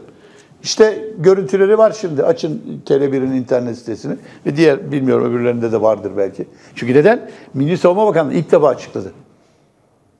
E ben bunu daha önceden söyledim. Bak daha Libya'yı söylemiyorlar. Şimdi Libya'dan da resmi açıklama gelecek. Askerlerimiz çekmek zorundalar. Çünkü Libya'da Libya. Ne oldu? Tanıdı mı Türkiye Libya'yı? Amerika tanıdı, Mısır tanıdı, Rusya tanıdı. Yeni bir şey var. Peki sen tanıdın mı? Şimdi orada başka bir durum doğdu. Artık iç savaş gibi bir şey yok. Ha Hafter mi kazandı o mu? Hayır. Ama Libya'da bir derlik düzenlik oluyor ve seni istemiyorlar. Şimdi benim orada askerim var. Oraya götürülmüş paralı askerler var. Suriye'den götürdün. El Nusracı, El Kaideci, Zartçı, Zurtçu filan. Bunlara soru cevap verecek. Bu kadar. Ben istediğiniz yere gelirim efendim. Bunları soracağım. Elbap'ta ne oluyor? Afrin'de ne oluyor? İdlib'de kaç tane gözlem noktamız kaldı? Kaç askerimiz var? Bugüne kadar toplam kaç şehit verdik? Son bir hafta içinde şehit verdik mi? Bunları soralım. İçişleri Bakanı'na da var. Çok sayıda sorumuz var. Diyarbakır anneleriyle ilgili sorularım çok mesela. Nasıl oluyordu onlar orada oluyor da bir tanesinin bile çocuğunu bulup daha getiremediniz? Yani bunca terörist yakalanıyor, daha doğrusu şey ediliyor. Nasıl oluyor da bütün bu operasyonlarda bir tane bile bu Diyarbakır annelerinin çocuklarından biri bile daha henüz e, şey olmadığını, e, etkisiz hale getirilmedi. Yani bu kadar mı ustaca bir şey? Ama hiçbirini geri getiremiyorsunuz. Nasıl oluyor? Nasıl oldu mesela Gara operasyonunda acaba iç istihbarat birimleriyle asker arasında bir çatışma mı çıktı? Da ne oldu yani? Bir kurtarma operasyonunun böyle olmayacağını sokaktaki çocuk bile anlıyor. Bunları soralım. Akdeniz'de gemiler niye geri çekildi? Donanma bir ara böyle dolaşıyordu Fransız uçak gemisiyle neredeyse geri çekildik. Ege'de neler oluyor? Bak bir adamlar bir adaya daha asker yığdılar. Amerika 50 bin asker getirdi. Binlerce araç, gereç, şeyler. Suudi Arabistan Girit'e geliyor mesela geldi uçaklarıyla. Ne anlam ifade ediyor? E bunları konuşalım. Neyse buradan gazete üzerinden gideyim ben okuyayım ki vakit kalmayacak gene bizim köşeye. Evet, Yılmaz Özdil andımızın kaldırılması için böyle dedi. Türk'üm demekten onur duymuyorlar. Danıştay kararına tepki gösteren Özdil şunları söyledi. Andımız İmmikten süzülmüş bir ruhtur. Allem ettiler, kallem ettiler, yasakladılar. Ne mutlu Türkiye'ne demek istemiyorlar. Türk'üm diyemiyor adam. Türk'üm demekten onur duymuyor. Ne mutlu Türk'üm diyene kavramı bir etnik kökeni yücelten değil, tersine hiçbir etnik kökeni dışlamayan bir kavramdır. Andımızı istemeyenler, Türk milletini bu topraklarda istemeyenlerdir. Sözcü doğruyu bildiği yolda Atatürk'ün ışığında Burak Akbay liderliğinde yoluna devam ediyor. Çok şanslıyım demiş Yılmaz Özdil. Şimdi bakın burada bir şey söylemek istiyorum. Hani bu şey oluyor. Efendim ne mutlu Türk'üm diye. Ya bu ülkede yaşayan Kürtler de var. Tamam yani Kürtlerin olması benim Türk olmaktan gurur duyduğumu söylememe niye bahane olsun? Ona ben bir şey demiyorum ki. O da benimle beraber, o da benim kardeşim, canım, ciğerim, her şeyim. Evlilikler var, şirketler var, efendim ne bileyim, birlikte dava arkadaşlığı var, birlikte askerlik var. Yani o ayrı o ayrı. Yani mesela şimdi Amerika'da ne mutlu Türk'üm derim. Diyemezsin lan burada. Hayır ben ne mutlu Türkiye'de diğer herkes de rezildir dersem tamam o farklı bir şey. Ama Türk olduğunu söylemek, bunu da söylemek mümkün. O da bir özgürlük. Hayır benim ben bunu çok açıktan söylemem ya da öyle bir gurur duymuşluğum yok. O da bir görüş. Bunlara karışma kardeşim. Ama Türk'üm, doğruyum dediğin zaman vay efendim ya ülkede Kürtler var onlara hakaret değil. Onlara da zorla söyletiyorsun. Onlar okulda söyletiyor. Zorla falan da değil. Her sabah söyleniyordu. Efendim bir Kürt çocuğuna bunu söyletmek. E peki o bölgede bir şey dersin. Bir şey bulursun yani. Ayrıca çok ayıp bir şey de değil. Yani orada siz Fransız İstiklal Marşı'nı biliyor musunuz? Yani Fransız Milli Marşı'nı. De vahşet, kan. Hiçbir Fransız aklına gelmiyor. Ya biz bu kadar kanlı, korkunç bir olayı niye hala ulusal marşımızda kullanıyoruz? Açın bakın. Bak söyleyeyim Marcel. Müziğine onlar Marcel diyorlar yani şey. Müthiş bir marş yani hakikaten oturaklı ama sözlerini bir okuyun. Bulun internette. Göreceksiniz. Bir dönemin vahşeti kanını kutsar. Ama hiçbir Fransız değiştirelim bunu ya da işte ya bizde burada şeyler var rahatsız oluyor. Çünkü bu bir ritüel. Sabah çocuklar okulda. Bu bir birlik, dayanışma, beraberliği gösteren. Ha işte Ahmet Altanların soktuğu, daha doğrusu eski sol komünistlerin AKP'ye öğrettiği bir şey bu. Onların aklına gelmiyordu. Onlar daha ilkel bakıyorlardı. İşte o dönem, o yetiştirme döneminde bunlar kullanıldı. Sonra ne oldu? Hepsi hapiste. Kim attı hapse? Aha bu. Hani dönem değişti de gelenler ha hayt filan deyip atmadılar. Onun için hani diyorum muhalefete bak yani size iş de kalmadı. İşte hepsi hapiste. Ya da buruşturulup atıldı. Sesleri çıkıyor mu? Çıkmıyor. Nerede televizyonlar? O hocalar vardı. Kitabın ortasından konuşuyor.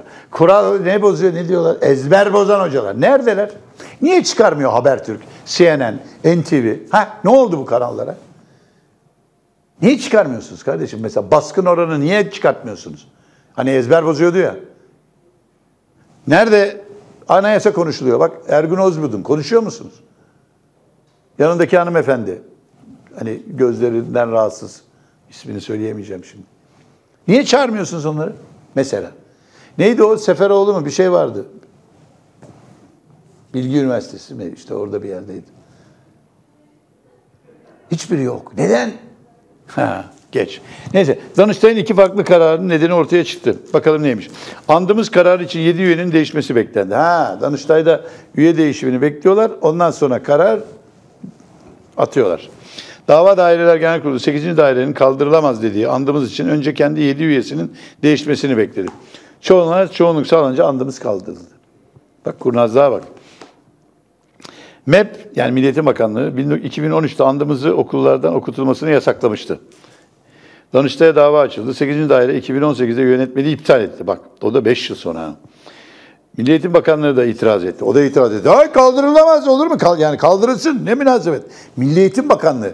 Bugünkü o hani milletin böyle var ya saf saftorik şeyler var. Hani, saftorikler var. Böyle. Ama çok milli şeymiş, Atatürkçü ve laikmiş diyenler var. Ha işte o o adam andımızın olur mu böyle şey kaldırılacak tabii diye itirazda bulunuyor mahkemeye. Aferin.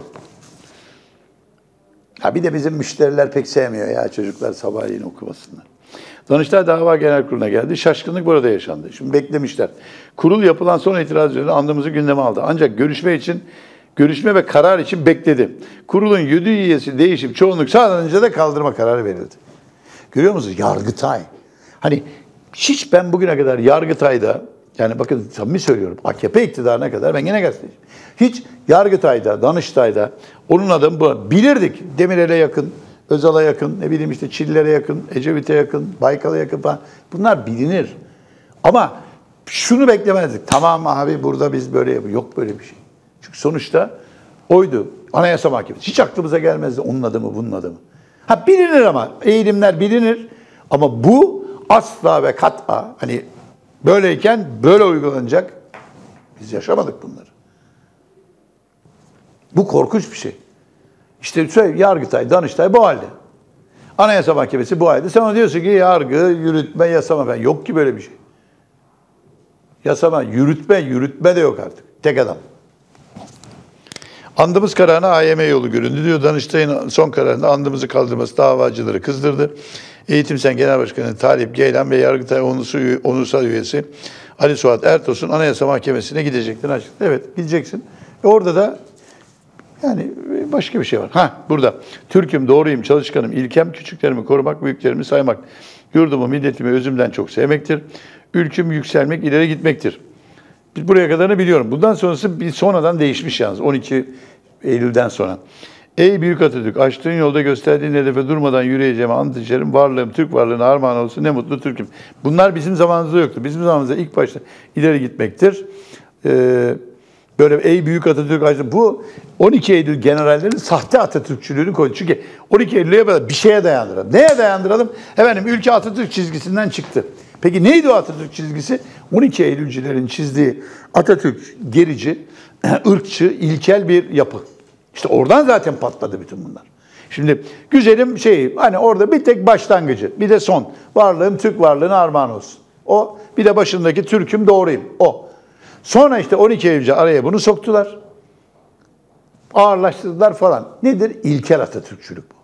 Gerici, ırkçı ve faşist. Öyle tanımlanıyor çünkü. Ne yapalım? Amerika öyle istedi, öyle oldu. Faizi arttıracağınıza önce hukuku arttırın diyor. Hukuk artmaz ki, uygulanır. Milliyetin Bakanlığı'nın faiz... Ha, Atilla Yeşil'e de mi söylemiş hem de bunu?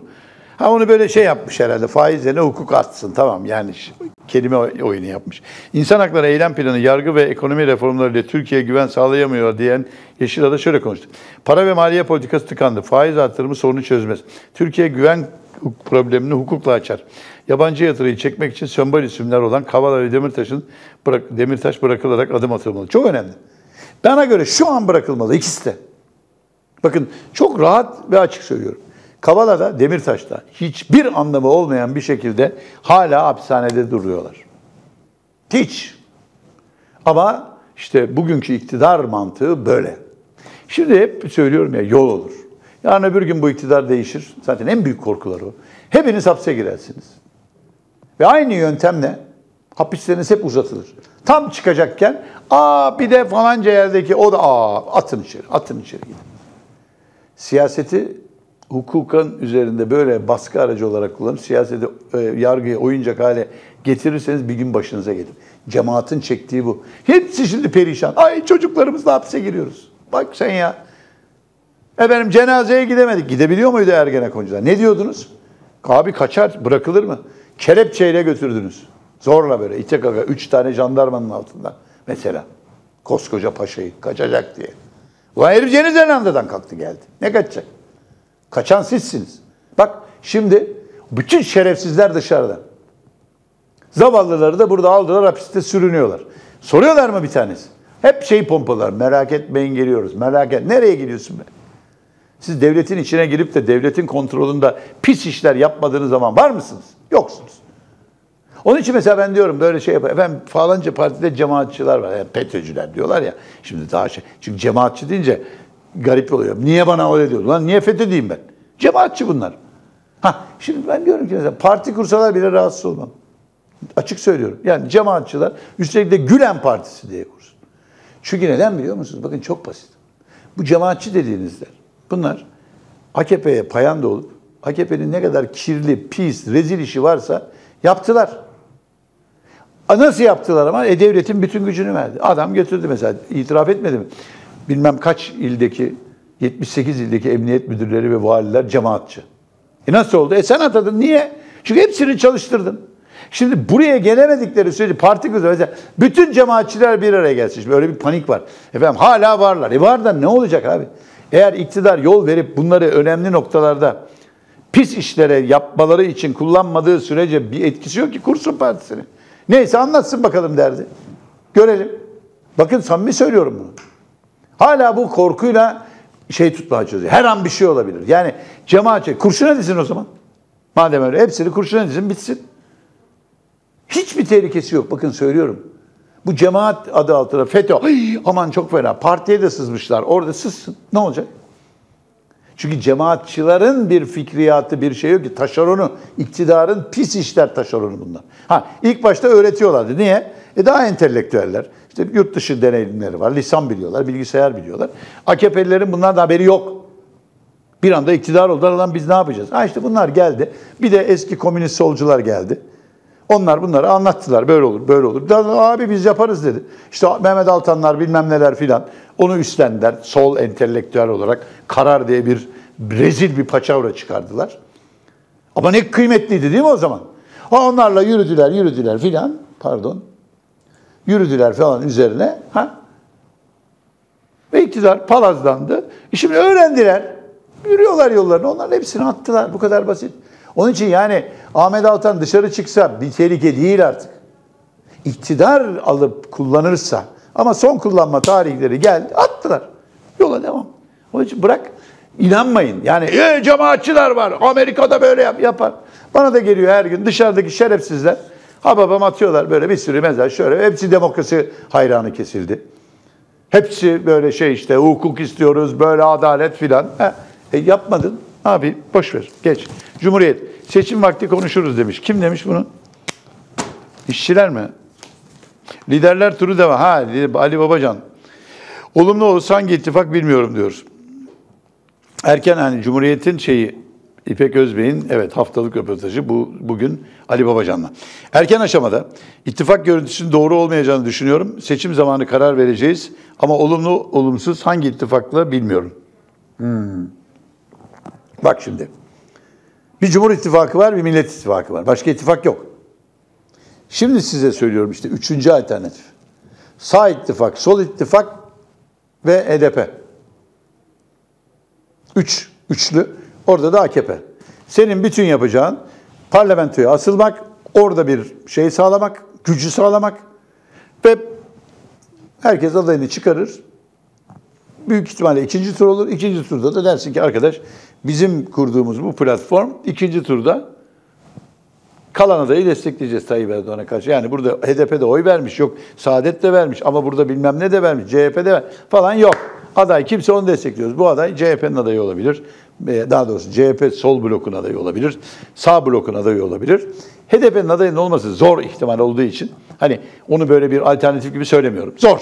Yani HDP ikinci olması şu anda zor. Ama sol ittifak, sağ ittifak adaylardan hangisinin daha cazip geliyorsa kamuoyuna o ikinci olur. Yapılır bu kadar basit. Bak söylediği Erken aşamada ittifak görüntüsünün doğru olmayacağını düşünüyorum. Seçim zamanı karar vereceğiz. Ama olumlu ama hangi ittifakla bilmiyorum. Yani Cumhur İttifakı'nda yer alabilir Ali Babacan. Bir kader ortaklığı yapılacak. Karşılıklı güven de önemli. Birbirini tanımadan, anlamadan bu güveni nasıl sağlarsınız? Bak. Şimdi başlıyor yani CHP ile yapmayacaklar. Küçük ortağın derdi bir şey üretmiyorlar. Bugüne kadar Türkiye'de hangi sorunu çözmüşler ki? Küçük ortağa sürekli büyük düşmanlar gerekiyor. MHP'yi kastediyor. Ekonomik paket önemli ölçüde hayal kırıklığı, hukukun üstünlüğü içselleştirilmeli. Hastalığın tedavisini konuşuyoruz ama teşhisini konuşmak yasak. Damada yüklenme çok fazla oluyor. Onu görevlendiren kişinin hiç suçu yokmuş gibi. İlk milletvekili listesine konurken bile yapmayın dedik. Yani daha zamanında.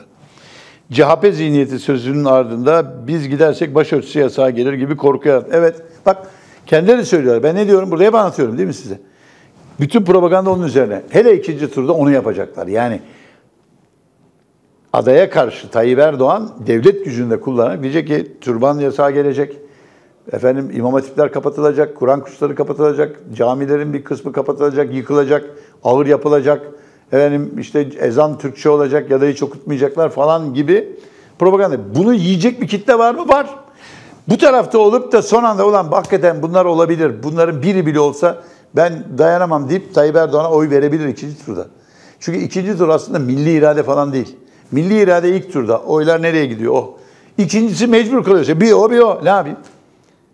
Bakın birçok bu diktatörlük ülkelerinde katılma oranı yüzde ellilerde. Yani Mısır'da. 80'le seçildim. Tamam da katılan yüzde elli. Yüzde ellinin yüzde seksenini alıyorsun. Yani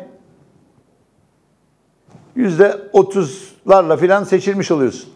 Yani halkın milli irade bu. Ama bak parlamentoya yansıyan milli irade. O diyor ki arkadaş ben işte böyle bir, bir sağdaki şu partiyi 60 milletvekiliyle destekledim. Soldaki şu partiyi 150 milletvekiliyle destekledim.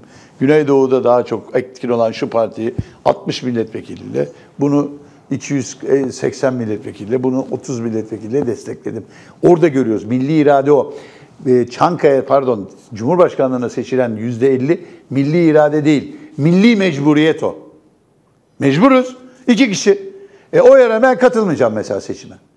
Sen de katılmadın oldu. Katılma oranı mesela milli e, genel seçimde, ana seçimde yüzde 86 katılma oranı. Cumhurbaşkanlığı ikinci turda katılma oranı yüzde 55. Ya ne yapacağım dedim ben. Katılmadım. Ne olacak? Neyse. Boş ver. Sabahı da boş ver. Ya 3 dakika gene kalmış. Hürriyetle sabah. Şöyle manşetleri okuyayım. Benim köşede doktorları okuyacağım. İyi ki varsın Türkiye demiş. Neden acaba bilmiyorum. Yani bu lafı da anlamadım. Yani iyi ki varsın. Dünya var. Yani Türkiye var. İyi ki varsın. E olmayacak mıydı yani? Her neyse. Marmara katili demiş bir şey. Burada bir haber var mı bakıyorum. Bayramda gözyaşı vardı. Yani şey siyah bayraklarla şey yapmışlar. Yani e, falan bunu şey yapalım. Efendim sabah şeysi de ne yapmış? Fedakarlığınız asla unutulmayacak diye Tayyip Erdoğan'a manşet yapmış. Kime söylüyor? Tıp e, çalışanlarına, hastane çalışanlarına. Masumları katletme ihtimallik falan. Şimdi benim köşeye bir gelelim. Orada tıpla ilgili şeyim var. Ya gene dalgaya düştük. Uzun şey yaptık ya aman. Maliye doktorların canını okuyor diyorum. Ne yapıyorlar biliyor musunuz? 14 Mart'ın diyorum ne özelliği var falan falan gidiyor. Vergi memurları bir doktordan duydum. Abi mahvettiler dedi. Yani bana dedi 200 bin lira ceza kestiler. Acayip. Hastanede çalışıyor ama özel hastane. Üniversite bağlantısı var falan böyle yani profesör. Ama hastanelerde çalışıyorlar. Artık eski eski bir muayenehane kalmadı biliyorsun çok az. Sonra bir başka doktordan daha diyor. Ya dedi bunlar deli gibi ya saldırıyorlar dedi böyle yani. Üç doktordan duyunca bir hafta boyunca tanıdığım ne kadar doktor arkadaşım yani ulaştım varsa kardeşim dahil onun da işi doktor hepsiyle konuştum. Anlattıkları şu. Her sene maliye bir meslek dalı seçiyor. Bu sene tıp alanını seçmiş doktorlar. Doktorlara saldırıyor. Şimdi mesele tabii ki herkesin vergi şeyi yapılacak falan. Ama bir, pandemi koşulları var. Bir taraftan doktor olanları yüceltiyorsun, kutsuyorsun. Öbür tarafta tam anlamıyla canını okuyorsun. Çünkü neden? Bakın neler soruyorlar. Yani efendim bankaya para yatırmışsın elden niye? Kimden geldi? Nasıl geldi? Şimdi bunlar böyle milyon dolarlar falan olsa zaten masak sorar. 10 bin lira yatırmış, 5 bin lira yatırmış. Mesela diyor ki, doktorun biri diyor ki ya diyor eşim oradan oraya nakil yapmak, para mara şey oluyor. Parayı çekti. Ben de yatıracağım bu hesaba. Niye? Bu hesapta efendim bütün otomatik ödemeler var. Bunu nereden? Ya eşimden aldım. Ne malum diyor şimdiden. Mesela emekli maaşlarını unutmuşlar. Emekli olanların maaşı var. Aynı zamanda şeyden maaş alıyor ya. Şimdi diyor ki bu para nereden geldi? Ziraat Bankası'ndan aktarmış mesela. O para nereden geldi? Ya kardeşim işte şey. İki, en önemlisi. Şimdi e, her türlü kredi kartı harcaması, bir, e, ne bileyim bankadaki hesap hareketleri hepsini didik didik ediyorlar. Ve hiçbir şey bulamadıkları, her şeyin doğru olduğuna bile en az 25 bin lira ceza kesiyor. Şimdi taktik şu diyor. Başka mesleklerde de var. Bu cezayı yazıyor. Tabi bazılarına 150 bin, 200 bin. Çünkü niye? Efendim işte hasta şey yapmış, burada faturayı kesmemişsin, yok KDV, yok efendim burada ameliyattan ekstra paramı aldın, almadın mı? Bunları takip ediyorlar. Kötü mü? Doğru ama bunu kötüye kullanarak yapıyorlar. Basıyorlar cezayı 250 bin. Sonra geliyor diyor ki uzlaşalım. Tamam mı? 120 bin lira ver. 120 bin lirayı öde 3 taksitte. Ama dava açamaz. Peki dava açarsam ne olur? Valla bunu ödemeye devam edersin. Durduruyorsun şeyi.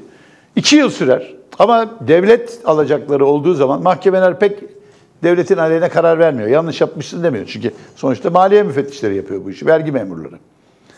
İki yıl sonra davayı kaybediyorsun. Yüzde 99 gidersen kaybedersin diyor.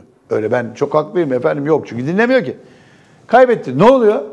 120 bin liraya düşmüş olan şeyi 250 binden ödüyorsun. Artı, artı geçen sürenin faizini de bindiriyorlar. Bütün mahkeme masrafları birdenbire 350-400 bin liralık oluyorsun iki sene sonra. O zaman diyorlar ki ya ver kurtul kardeşim.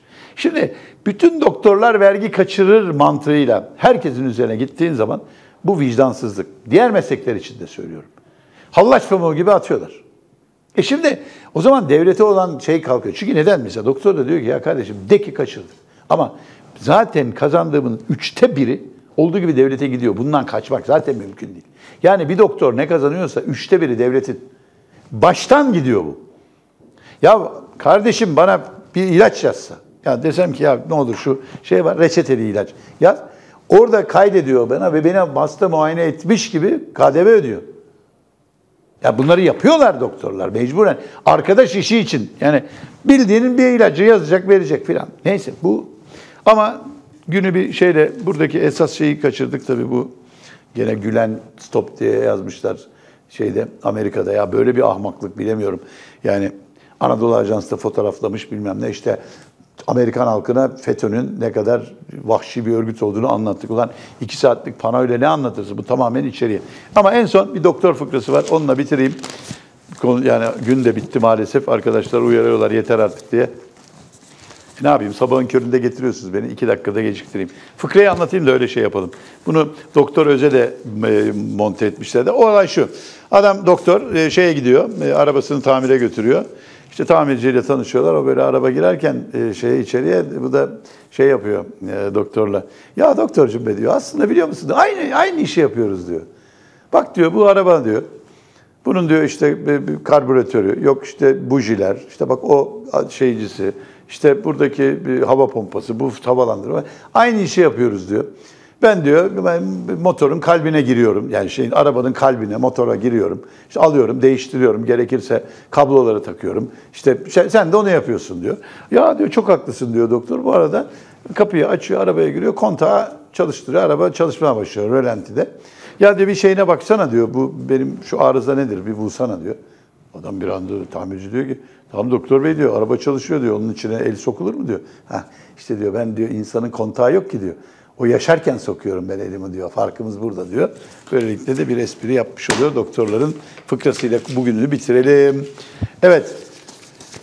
Yarın tekrar birlikte olacağız. Bu akşam büyük gün biliyorsunuz. Ee, AKP Genel Başkanı yasak var mı yok mu ya da yeni tedbir var mı yok mu açıklayacak. Hep beraber göreceğiz. İyilikler, esenlikler diliyorum. Hoşçakalın.